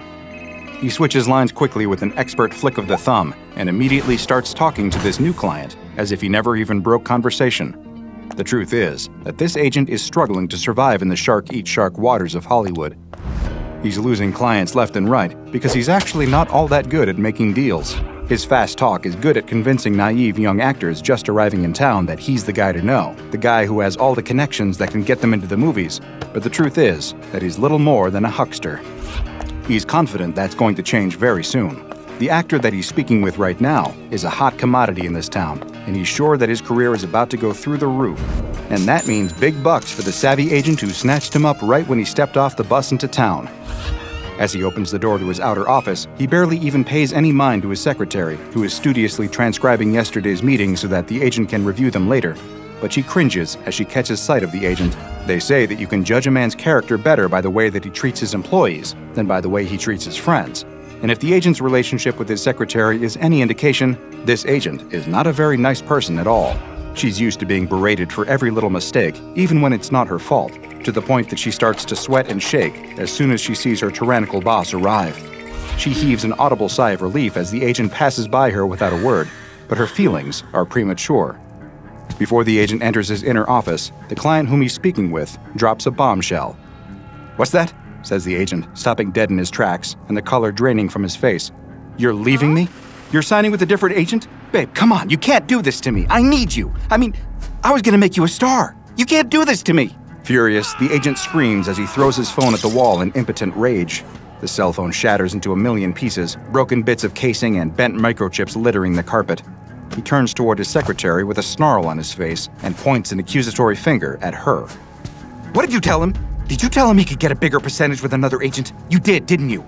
I always tell you not to talk to the clients, but you can't keep your big mouth shut. The secretary tries to stammer out a defense, but she's too nervous. Before she can say anything, the agent turns away from her, still fuming. I'm gonna take a coffee to get over this, he grouses, removing his extremely fashionable sunglasses and rubbing his forehead in frustration. When I get back, that mess better be cleaned up. Oh, and make yourself useful for once and get me a replacement phone. The secretary doesn't waste any time in grabbing a dustpan and broom from the supply closet and cleaning up the destroyed cell phone. She knows her boss is in a terrible mood, and she's worried that he's not going to be much better when he returns. And then he's probably going to just yell at her some more. She needs to move fast because she knows the agent won't be gone long, and even though it's obviously completely ridiculous to expect that she'll be able to find and buy a new cell phone for him in the few minutes that he's gone, she's sure that he'll still take out his frustrations on her. Moments later, the agent returns, still grumbling to himself and clutching a hot coffee in his hands. He glowers at her over his sunglasses. I see you're still sweeping up, huh? God, you're so slow. And did you even get me a new phone yet? I can't be expected to do my job if my clients can't reach me. The secretary opens her mouth to respond, but before she can say a word, they're interrupted by the ringing of a telephone. Both agent and secretary turn to look at the source of the noise. There, on the edge of the secretary's desk, is an ancient, cordless telephone. It doesn't look anything like the slick modern phones currently being sold in stores. It looks like it's a leftover from the early 2000s, so low tech that it might as well be a rotary phone. The agent sneers. That's the best you could do. That thing is ancient. I'm not going to use a cordless phone. I said I wanted a cell phone. What kind of joke is this? The secretary doesn't know what to say. She didn't buy that phone. She's pretty sure, in fact, that she's never even seen it before. The maintenance staff must have replaced her phone overnight and she just didn't notice it because they haven't received any phone calls today. But wait a minute. She sees that her regular black telephone is also still on her desk. In this case, maybe the new phone is intended for her boss. Well, aren't you going to answer it? asked the agent pointedly as the telephone continues to ring. Um, yes, yes, sir, says the secretary nervously. She grabs the phone and picks it up. She vaguely notes that something feels wrong as she hefts the phone in her hand. Her eyes randomly trail along the contours of the phone, noting that the seams of the phone seem to have been welded together. Huh, that's strange. But she doesn't have the time to ponder this for long, because she's got to answer the phone quickly while her boss glowers at her. She holds it to her ear as the agent watches, a grin on his face. He can't wait to hear how upset the client will be to find out that he's no longer getting the agent's personal attention. The secretary introduces herself and states the name of the talent agency. How can I help you? she asks. Her face quickly goes pale, and she starts to tremble, tears welling up in her eyes. What? Who is this? she cries. What's going on? Oh my god, are you. Are you. Is that. The agent quirks an eyebrow skeptically. What's going on here? Is this some kind of prank? The voice on the other end of the phone is loud. He can't make out the words, but it almost sounds like someone is shouting hysterically. He can hear other loud noises coming over the wire crashes and shouts, and a loud buzzing that almost sounds like the revving of a chainsaw. Meanwhile, what the secretary hears chills her to her core. The voice on the other end of the phone is shouting and panicked. It's a woman, but the secretary can barely hear her over the noises in the background. She heard the ominous clank of machinery and the crackle of fire. What is going on? They're torturing us, cries the woman on the phone, her voice cracking as she descends into frantic sobs. Please, you have to do something. You have to save us. Oh God, here they come. Help, please. The secretary doesn't know what to think, but she can tell that the fear in the woman's voice is very real. The secretary can hear screams and shouts in the background, and her mind is instantly filled with visions of the most horrendous sorts of torment.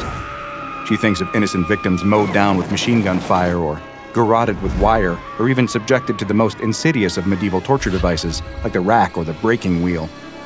She imagines a whole facility dedicated to nothing but the senseless torture of innocent victims for no conceivable purpose, except, perhaps, the sick curiosity of the psychopathic torturers themselves.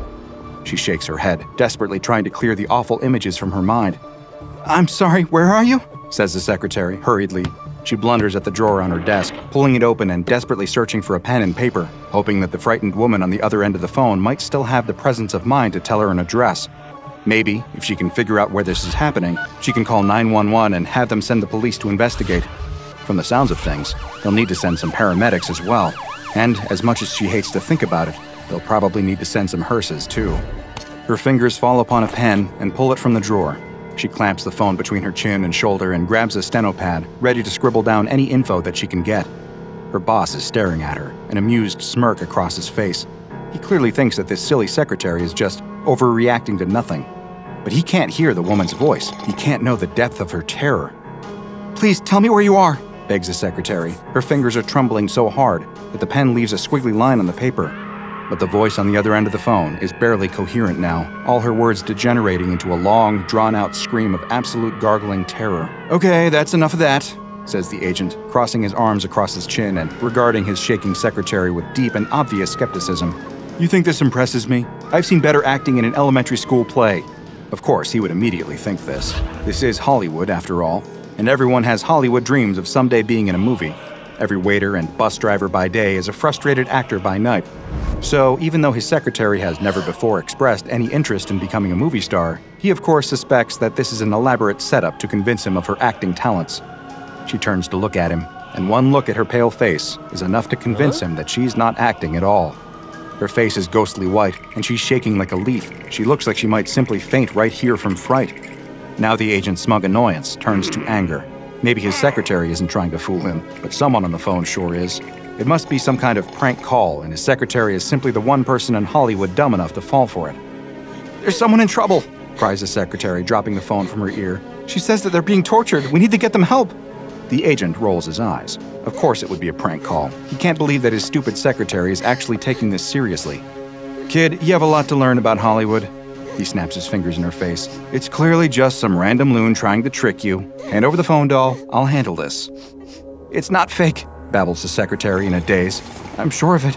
It's real. She hesitates, afraid to hand off the phone for reasons that not even she can articulate. The agent grunts in annoyance, snatching the phone from her hands.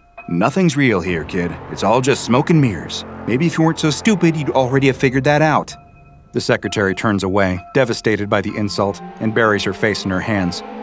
The agent, meanwhile, holds the phone to his ear. Listen, punk, I don't know who you think you are, but I'm a big deal and. His words suddenly cut off, and the secretary turns as she hears the cardboard coffee cup explode against the floor. The agent is nowhere to be seen. It's like he suddenly vanished in an instant. She blinks in surprise and confusion. It happened so suddenly that there's no way the agent stepped outside without her knowing. The dropped coffee cup on the floor serves as chilling proof that something extraordinary must have happened to him. The other thing left behind, sitting in an ever expanding puddle of spilled coffee, is the mysterious telephone. She stares at it in disbelief, wondering how this strange phone can be responsible for this crazy situation. And then, even as she stares, trying to make sense of what just happened, the phone immediately begins to ring anew. Answering a ringing telephone is an almost instinctive response for most of us. But if anything, this situation shows why sometimes it might be a good idea to resist that urge. After all, you never know who might be on the other end. And while usually the worst consequence of answering an unknown caller is that you'll be subjected to a lengthy and boring pitch for life insurance or solicitations for political donations, this story shows that there are some things much worse than a spam caller. Instead, you might be receiving a call from SCP 145. For all intents and purposes, SCP 145 appears to be a standard 2002 model cordless telephone handset of Alcatel brand on its standard issue charging base. The charging base has been defaced, the jack inputs are sealed with resin glue, and the power input to the device has been torn out with a sharp tool. All labels and stickers have been torn off the phone, so its serial number and production date are unknown. None of this would make SCP 145 particularly notable. What makes SCP 145 unusual is that the phone rings constantly, defying all attempts to silence it. Neither removing the phone's battery nor disassembling the base has had any effect on stopping SCP 145's incessant ringing. The only thing that can stop the ringing is to answer the phone. But as Foundation agents soon learned, answering the phone is literally the last thing you want to do when SCP 145 is around. Agents assigned to interacting with SCP 145 must always do so in pairs for very important safety reasons because if a person answers SCP 145 without being observed by another live human being, the person answering the phone will instantly vanish. It is currently unknown how SCP 145 causes its victims to vanish. Video recordings of vanishings do not provide any clarity, only showing that the victim is there in one frame and gone in the next. If a person answers the phone while being observed by another person, however, they will not vanish and can actually have a conversation of sorts with whoever is calling. The person on the other end of the phone varies from call to call, but is always one of several different female voices. This voice will beg for help in a panicked tone as the sounds of violence and torture play out in the background. The methods of torture, judging from words of the caller and the sounds in the background, have included branding, electrocution, laceration, and many other gruesome acts of violence. It's currently unknown where the voice is calling from or who is responsible for the horrible tortures happening at that site, but conversations with the phone voice give a grisly clue as to the fate of the people who vanish after answering SCP 145 while unsupervised. It appears that those vanished individuals are transported to the site from which the phone calls originate and added to the roster of victims undergoing torture at the hands of the unknown tormentors. The callers appear to be non automated and entirely sentient. Attempts to trace the call or track down the location of the tortured callers have proven unsuccessful thus far. Attempts to block the signal of the phone with the use of a Faraday cage have also been unsuccessful. Since SCP 145 is pretty much just a telephone, it has been given the object class Euclid. Since the location of SCP 145's victims is currently unknown, the only way to travel to it is to join the roster of victims by using SCP 145. Currently, the Foundation conducts research into SCP 145 by using teams of three one Class D staff, one Class 2 145 audio technician, and one Class 3 security staff. Only Class D staff are permitted to actually listen to SCP 145, as, without fail, unsupervised exposure to SCP 145's transmissions will cause the listener to vanish and join a growing list of SCP 145's torture victims. Listening to the pleas of SCP 145's victims is a harrowing experience for even the most jaded researchers, such that the Foundation has been moved to try several rescue attempts, even when these might not have been the best advised plans. As of yet, none of these attempts have been successful. In one instance, the Class D personnel tasked with answering SCP 145 was issued a GPS locator device in hopes that it might give Foundation agents a clue about where the victims were being held. The GPS device was rendered inactive upon the victim's disappearance. On another occasion, a researcher equipped the Class D listener with both a GPS device and a military combat knife. Once again, the GPS device was rendered inactive, and subsequent calls by SCP 145 seemed to indicate that the missing Class D staff attempted and failed to use the knife in defense. A third rescue attempt involved equipping the Class D staff with both a Kevlar vest and a 9mm semi automatic pistol. Subsequent listens to SCP 145 revealed the sound of gunshots, followed by exclamations of pain from the vanished Class D staff person, indicating that perhaps the unknown tormentors had managed to disarm the Class D staff person and use his own weapon against him. In one final rescue attempt, researchers thought that possibly explosives could be used both to attack the mysterious tormentors and to reveal the location of the torture site. If nothing else, a massive mysterious explosion might appear on seismographic instruments or even local news reports. Researchers equipped a Class D staff person with one kilogram of C4 explosive concealed in a supply kit, with the explosive attached to a remote trigger with a 30 second delay, triggered before interaction with SCP 145. The results of this experiment are currently classified, but involved multiple personnel going missing, so suffice to say, it wasn't the rousing success that the Foundation staff had been hoping for. Following this incident, all further tests on SCP 145 have been suspended. What is SCP 145 and why was it created? What cruel yet ingenious mind could devise something so cunning, only to be used for the senseless torment of random people?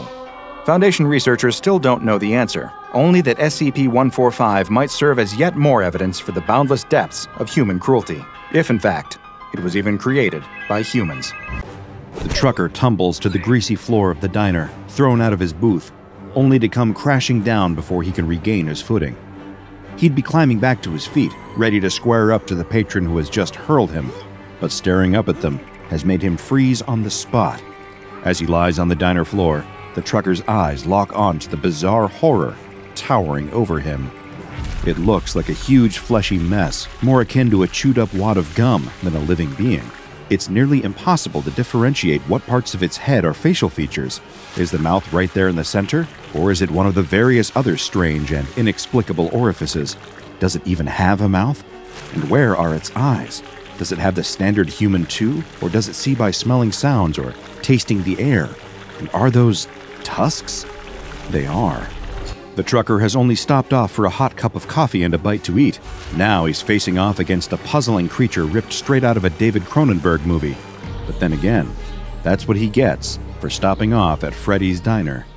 It all begins a few moments prior. The trucker is at the wheel, exhausted but making good time on a long haul across the interstate. Thanks to life on the road, he's been lucky enough to see much more of the country than most, driving from the west coast to the east coast and back again plenty of times. And being so familiar with his routes, the trucker has his very own curated list of the best places to eat while on the road. He double checks the time and realizes he's got plenty to spare, so decides to make a quick detour and heads towards a little known roadside restaurant, Freddy's Diner. The trucker still remembers the previous time he took a pit stop in Freddy's place.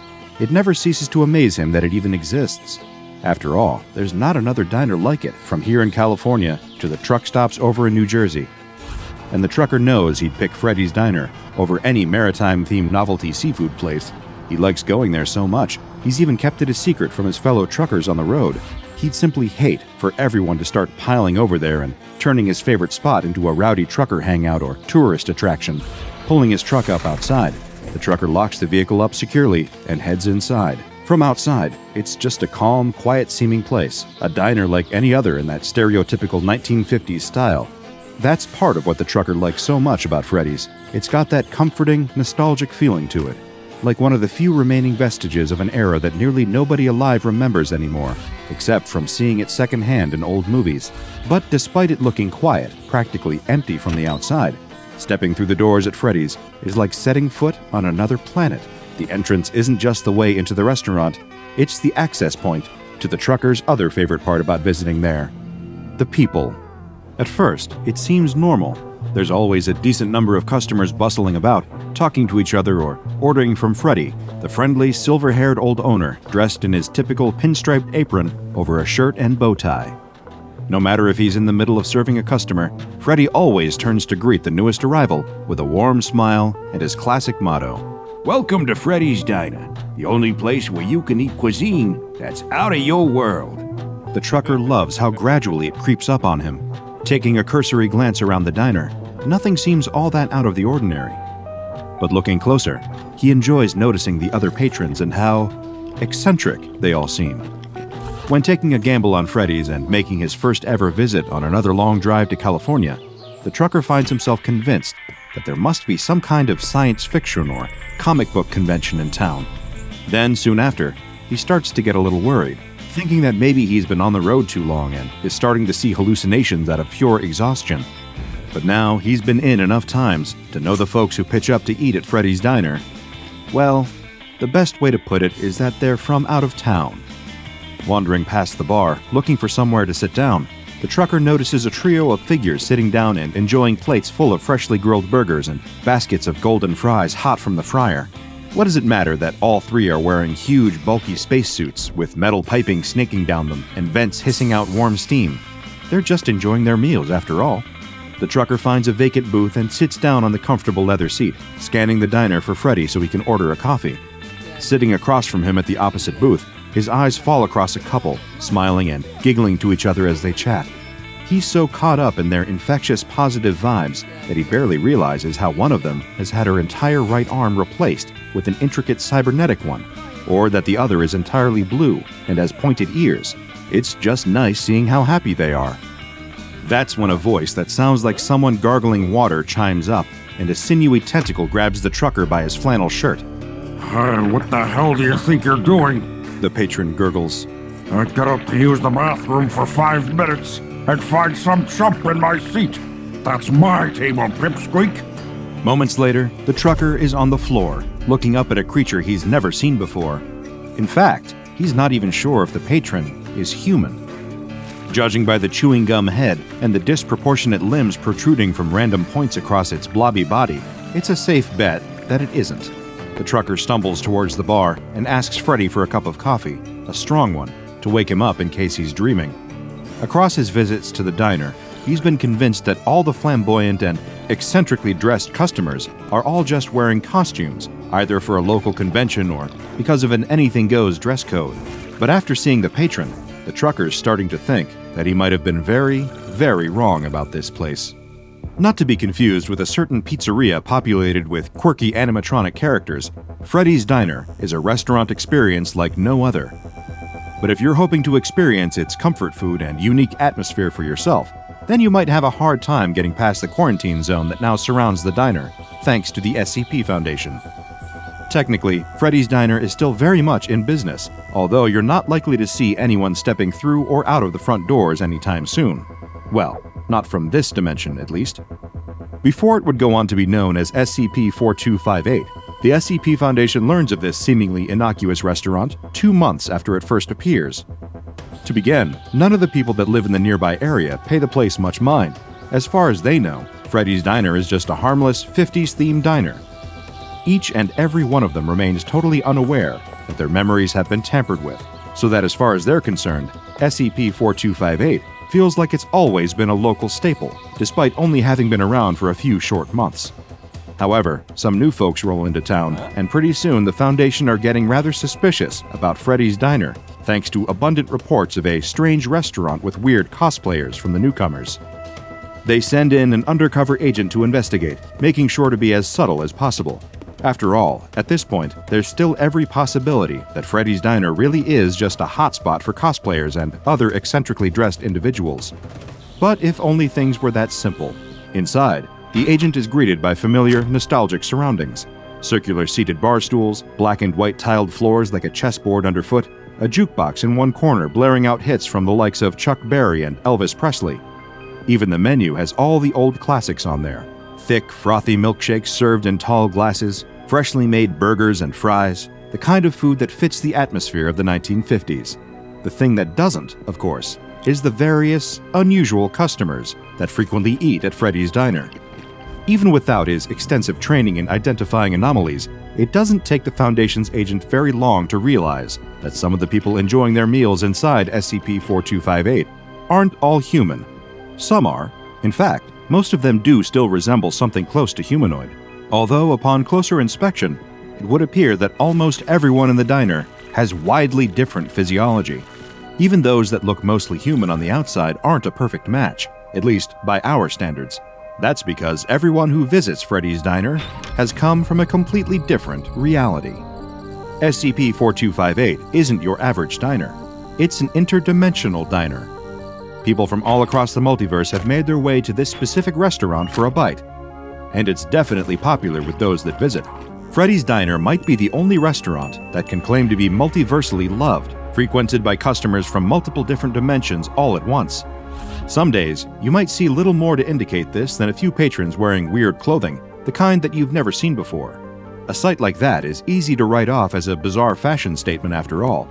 But on other days, when you find yourself enjoying a classically made milkshake at the bar, when a six and a half foot anthropomorphic slime creature sits down on the stool next to you, then it becomes a bit more apparent that Freddy's Diner is anything but ordinary. And the agent sent to investigate the place by the Foundation quickly gets that very same impression during his first visit. Perhaps in an effort not to get swept up in the wondrous Mos Eisley Cantina energy of SCP 4258, the agent approaches the bar and begins to conduct an impromptu interview in the field. He talks directly with an old gentleman who appears to be running the place, the sole worker and owner of the establishment, the man the diner is named after Freddy. Although he'll later become known as SCP 4258 1. Freddy greets the agent with the same charming, well mannered demeanor as all his customers, before the agent starts trying to get to the bottom of what exactly the place is. It's a diner, Freddy tells him after a quick chuckle.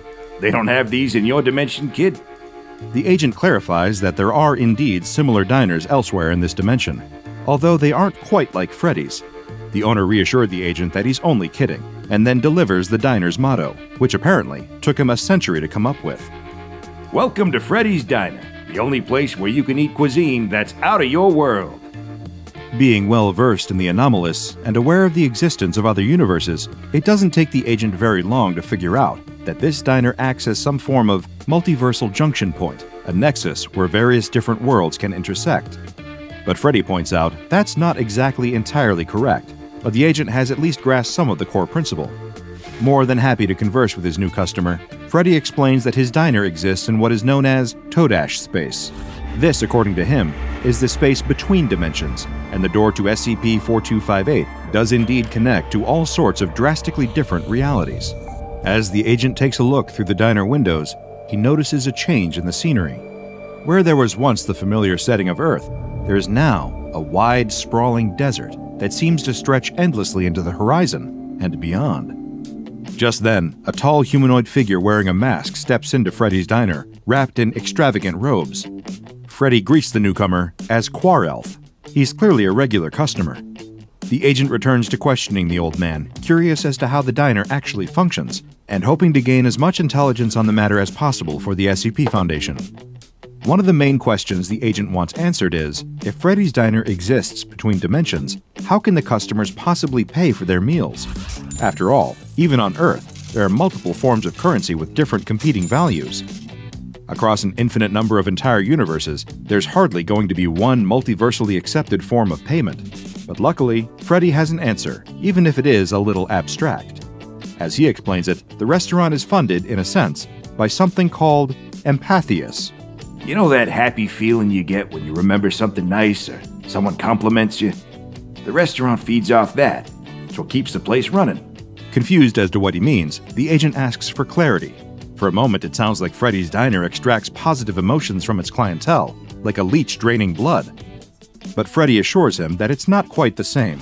The diner itself only takes away the excess empathius, the positive emotions, that its customers experience from being there, enjoying their meals and the atmosphere of the interdimensional diner.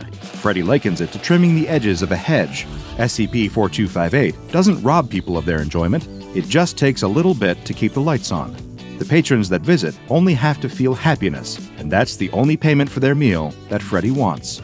That brings the agent to a final question if the restaurant takes a little bit of Empathius as payment, then what exactly is Freddy? the owner chuckles and says that he's just an old man looking to make good food. Speaking of which, he offers to take the agent's order. Not wanting to be rude, the agent asks for a hamburger and fries to go. He tries to see if there are any other staff working in the kitchen, but there doesn't look to be anyone at all, save for a pair of transparent hands that place a plate down on the kitchen line. Foundation researchers conduct a few different tests on the food that the agent received from SCP 4258, but their analysis quickly reveals that there's nothing harmful about it at all. It's just a well made burger. The agent is subsequently sent back to the diner to gather more information about it. This time, he's given instructions from the Foundation to change up his approach and speak with some of the customers instead, to see what they think of Freddy's Diner. After all, despite his friendly demeanor, the old man could always be a liar, trying to cover up a more sinister nature to his restaurant, so he can lure in more unsuspecting people from across the multiverse. Although the agent has little reason to suspect anything untoward about SCP 4258, the Foundation is nothing if not thorough. During his second visit, the agent sits down with one of the customers enjoying a meal at Freddy's Diner, a humanoid being whose body is composed entirely of different types of stone. Just from a cursory glance, there looks to be a mixture of basalt, granite, and limestone all over the entity, who introduces itself as Rock. The agent starts by remarking that the creature has a very interesting name. Everyone on Rock's world is named Rock. Pushing for more information on the creature's universe, the agent decides to ask if Rock's homeworld has a name, to which the reply is Rock. As far as the agent can attain from Rock's fairly blunt description, the stone entity originates from a universe that lacks any life forms with flesh and blood bodies, or squishies, as Rock refers to them. It also states, with a similar lack of descriptive detail, that its home universe also lacks anything resembling vegetation. There are no trees or plants, which means that the denizens of this dimension only eat rock. Very delicious, yes. The agent submits a proposal to the Foundation for a third visit to Freddy's Diner, writing in his report that his latest interview has proven to be completely useless. Although it does at least provide one interesting detail about SCP 4258, besides all the facts about rocks. It seems that everyone within Freddy's Diner, regardless of which dimension they originate from, is capable of understanding each other. It's almost like a multiversal translator is in effect within the restaurant itself to make it easier for Freddy and his patrons to communicate. Returning to SCP 4258 for a third time, the agent finds himself striking up a conversation with a rather familiar face his own. Against the improbable odds of infinite different people across an infinite number of universes in an endless multiverse, the Foundation agent happens to bump into one of his own counterparts from an alternate reality. And for the most part, this alternate agent seems to be from a universe that is practically identical to the first agent's. The two men sit down and begin to have a friendly discussion almost immediately after entering Freddy's diner. After all, it's likely that nobody else in the establishment is as familiar with each other as the pair of them are. The first agent is quick to remark at how strange this encounter is, even amongst his own years of experience at the SCP Foundation. Working with anomalies on a day to day basis is strange enough, but interviewing an alternate version of yourself has to be a jarring experience to say the least. The agent tries to establish any major differences between their two universes, asking his counterpart who he works for in his reality. The alternate agent explains that he also works for the SCP Foundation, or another version of it. So far, no differences. Next, the agent asks a more personal question Is the alternate agent married? It turns out he is. As a matter of fact, they both are, and their wives are not only alternates of each other, but both versions of the couple have been together for 20 years. Next, the agent asks his interdimensional doppelganger to describe his world in more detail. More than happy to oblige, the alternate agent describes that in his universe, it is currently the 21st century. Most of the socio-economic issues faced in this dimension are the same as this one. Political corruption is rife. There are shortages of essentials like food and water in many countries, along with various other problems. But, the alternate remarks, there are good things there too, like Shark Week. That sounds fairly close to our world, the agent observes. Seems like there aren't any noticeable differences between the two. Guess not. Pretty funny, huh? His alternate reality counterpart replies. It is at this point during the interview that Freddy comes over to give the alternate agent his order a burger and fries, presented in delicious fashion on a plate. Awesome, thanks, Fred, the alternate agent says before turning to his food. Time to chow down. Then, the alternate agent's jaw proceeds to unhinge, revealing multiple rows of razor sharp teeth hidden behind the front facing human set. He lifts up the plate and begins to violently consume the burger and fries he ordered. Having devoured the meal in a matter of minutes, the alternate agent then eats the plate his food was set out on, crunching down chunks of ceramic. Returning to the Foundation, the first agent later requests to be administered with amnestics. His request is denied. Grasping clawed hands, slimy tentacles, skeletal fists, all reaching out from the dark to claim you. Is this the monster in the closet, the beast under the bed, or the horrors inside a simple item of clothing? It's a sunny Saturday afternoon in the early days of summer. The sky is a bright, cloudless blue. The sun beams down on the crowds of kids home from school and adults hoping to get out and soak up a little bit of the cheerful energy. It isn't just the students enjoying the fact that school is out for summer either. Teachers are on vacation too. One particular teacher is enjoying her first day off in months, taking full advantage of the free time. She starts the day with coffee and breakfast, then stops by a local ice cream shop for a strawberry cone and heads to one of her favorite summer pastimes a yard sale. She follows the signs to a driveway filled with what she just knows will be hidden gems. They say one person's trash is another person's treasure, and she is the person who considers those cast offs to be undiscovered treasures. She picks through the cardboard boxes of yellowed books, bags of worn stuffed animals, crooked shelves, and wooden rocking chairs with paint peeling off. After picking up the third shoe in a row that doesn't seem to have a matching partner, she's beginning to think that this particular yard sale might be a bust. But then, she spots it, draped over the back of an overstuffed orange couch. It's a coat made from fine, high quality wool. She doesn't have much need for a wool coat in the summer, but it looks so nice that she can't help but pick it up to get a better look. The material is heavy and sturdy in her hands, smelling faintly of dust the way all true vintage pieces do. She should know.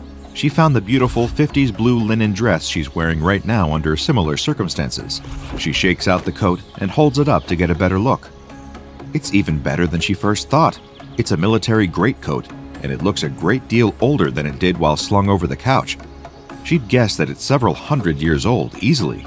It might be the oldest piece she's ever seen at a yard sale like this.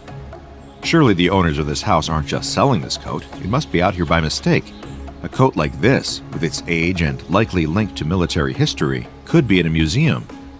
She catches the attention of the homeowner, an older woman showing off a chipped tea set, and calls her over.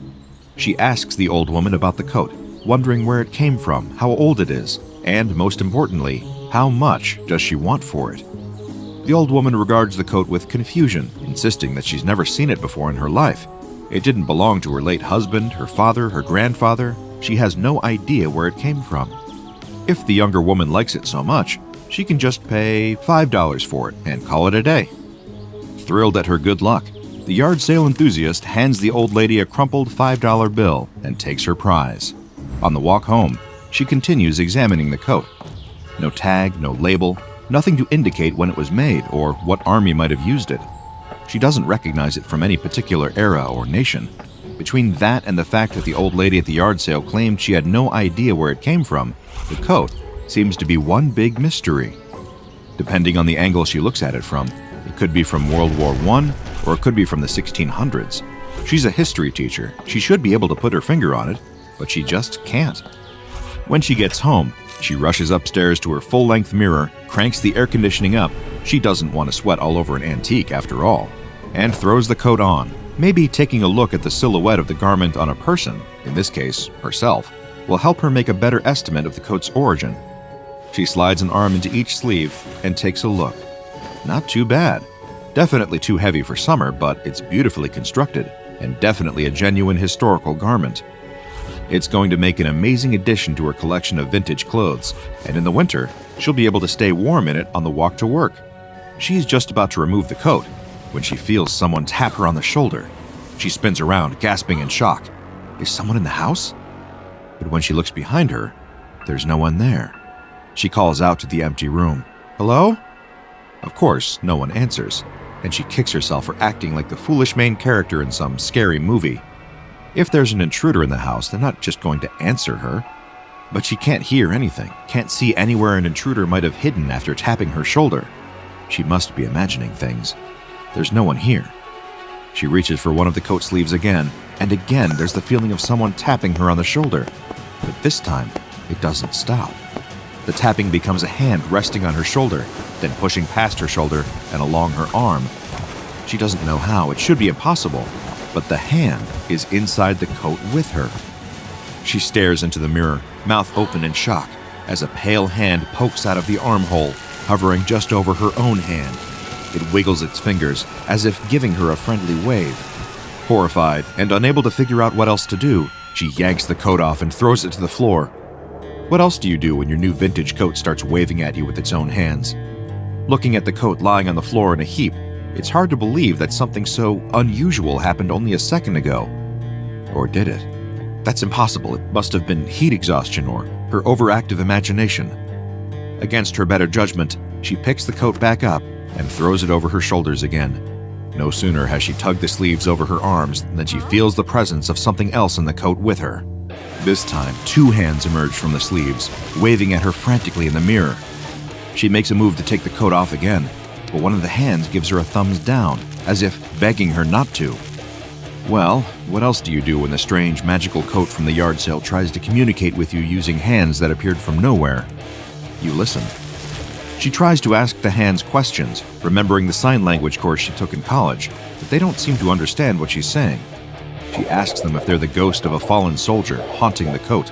She asks if they can tell her anything about where the coat came from, but all they do is wave. Maybe that's because they don't have eyes, they can't see what she's trying to tell them. Eventually, the hands seem to give up, disappearing back into the lining of the jacket. She's about to take it off again when she feels something slimy slip up her back emerging from the coat's lining. It wriggles against her spine like a worm before sliding out of the collar and up her cheek. In the mirror, she can see it, though she wishes she couldn't. It's a tentacle, like that of a massive octopus she once saw in an aquarium. It suctions to her cheek, and she can't take it anymore. She needs to get this coat off now. She begins tugging at the sleeves, pulling it off, turning one of the sleeves inside out in the process, and the tentacle takes notice. It wraps itself around her throat, trying to hold her inside of the coat, squeezing tighter and tighter. She thrashes, ripping at the fabric and raking the tentacle with her nails, but it only squeezes tighter and tighter still, cutting off her air supply. Her eyes bulge, her mouth gapes wide, gasping for air as she fights for life. The only way to escape is to get the coat off, but every time she tries, the tentacle only squeezes tighter around her throat. She can feel other hands, some human, some with sharp claws that dig into her skin, some covered in fur, all grabbing hold of her and pulling her back into the coat. The fight between the woman and the coat full of arms pulls her to the floor, where she struggles violently, throwing her body back and forth as she wrestles with the limbs grabbing hold of her. She tries to scream, but can't get enough air into her lungs to make any sound but a pathetic squeak. During the struggle, she winds up with the coat stretched over her head, holding onto her by the neck and two arms. She breaks free, and the coat falls on top of her head like a blanket. And then, suddenly, where there was once a woman and dozens of inhuman hands, there is now just a simple wool coat lying on the ground in an unassuming pile of fabric. She's gone, vanished without a trace. Meanwhile, across town, an old woman with a yard sale sign in her yard gets a visit from a van full of strange men claiming to be members of an elite research organization. They lost something very important and tracked it to her simple small town yard sale.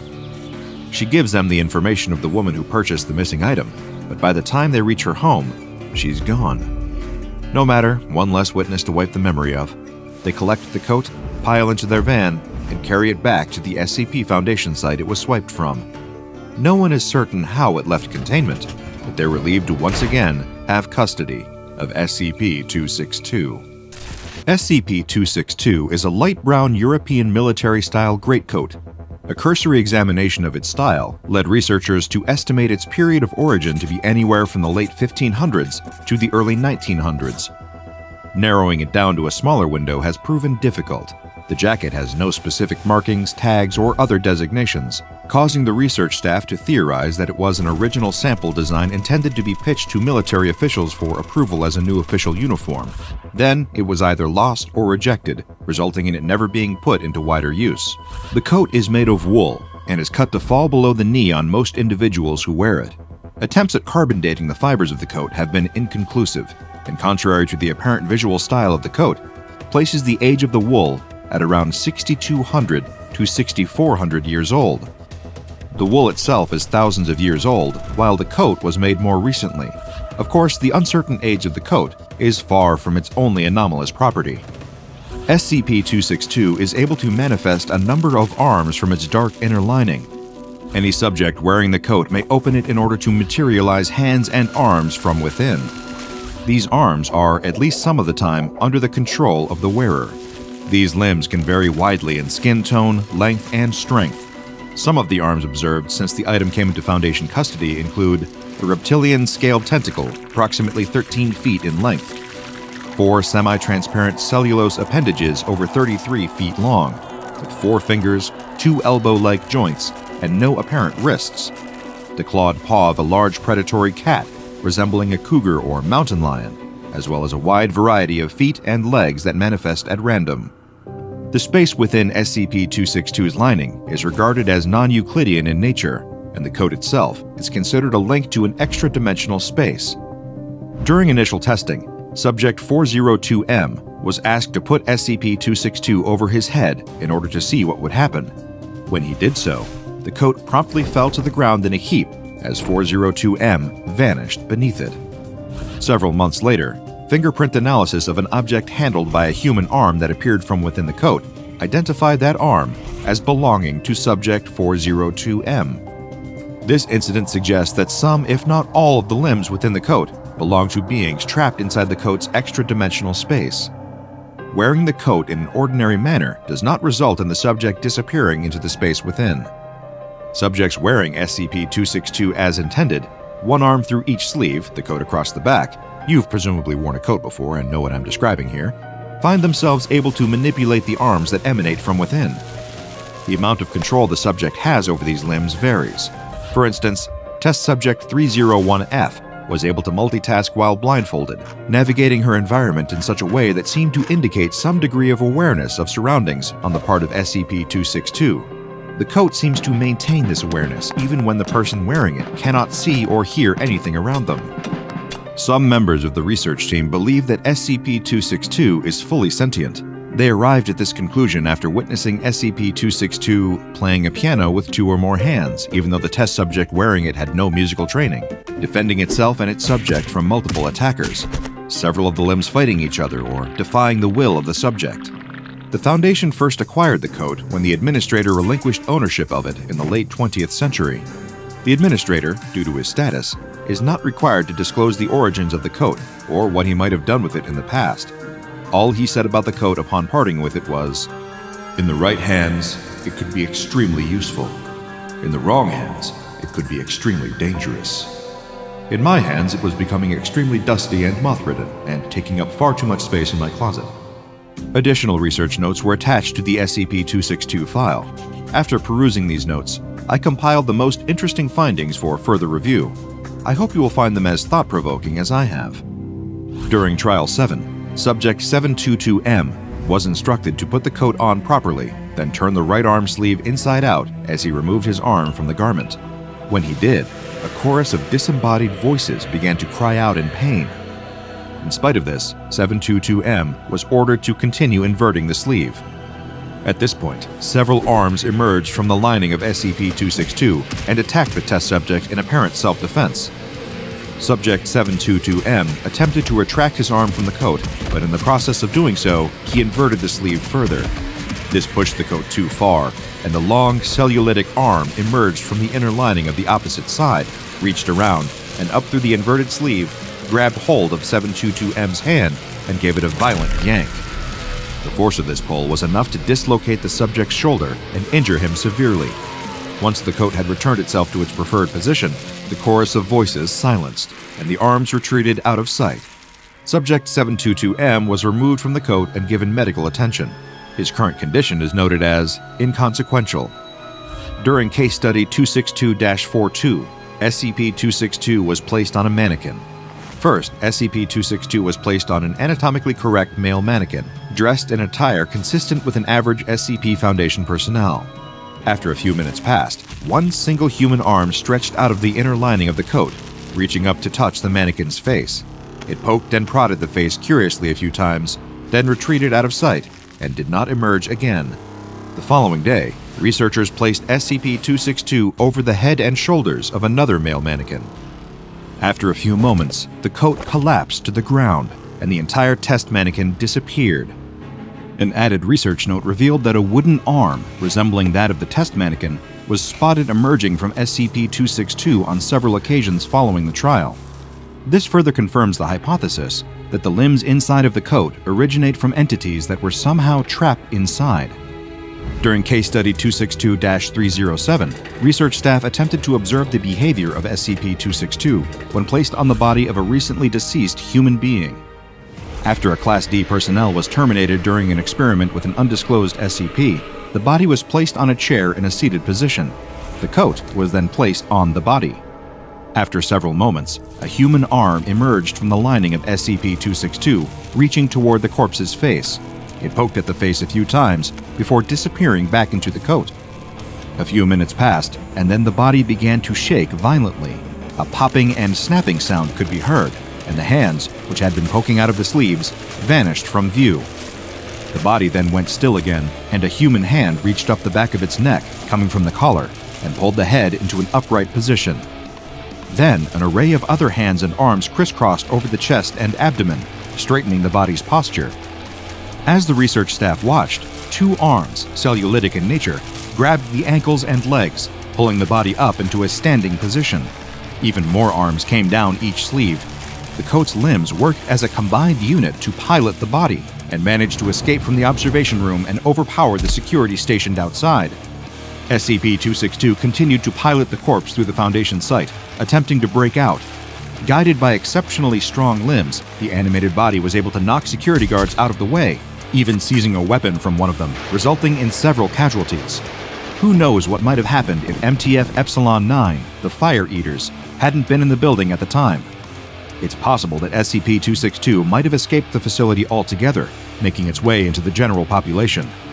Using their flame accelerators as aggressively as possible, the MTF members managed to corner SCP-262 at the far side of a hallway. With nowhere to turn, SCP-262 resorted to an emergency escape plan. One of the hands from within the coat pulled the garment up and over the head of the corpse it was piloting.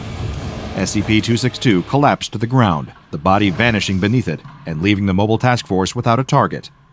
At this point, it is unknown whether this escape attempt was driven by the will of SCP-262 itself or some sort of residual consciousness from the body of the deceased Class D personnel used in the experiment. At this point in time, SCP-262 is under review and additional research to see if it could be useful to field agents attempting to contain other SCPs. At this time, agents are not permitted to use SCP-262 without supervision by a staff member with commander-level authority, Whenever SCP-262 is not in use, it is to be kept in a climate-controlled room at an undisclosed Foundation site, guarded by at least two Level 2 security personnel at any given time. It is unlikely that SCP-262 will make its way back into the general population anytime soon, unless it finds itself in possession of a wearer willing to help it get there. Still, if you ever happen to be browsing a thrift shop or yard sale and happen upon a vintage military jacket that entices you to try it on, do so with caution. You might find yourself in need of some help, though you won't need anyone to lend a hand. You'll have plenty of those. Check out the Dr. Bob Patreon and become a junior researcher today. Now go and watch another entry from the files of Dr. Bob, like SCP 674 The Exposition Gun Makes Nintendo Real Life.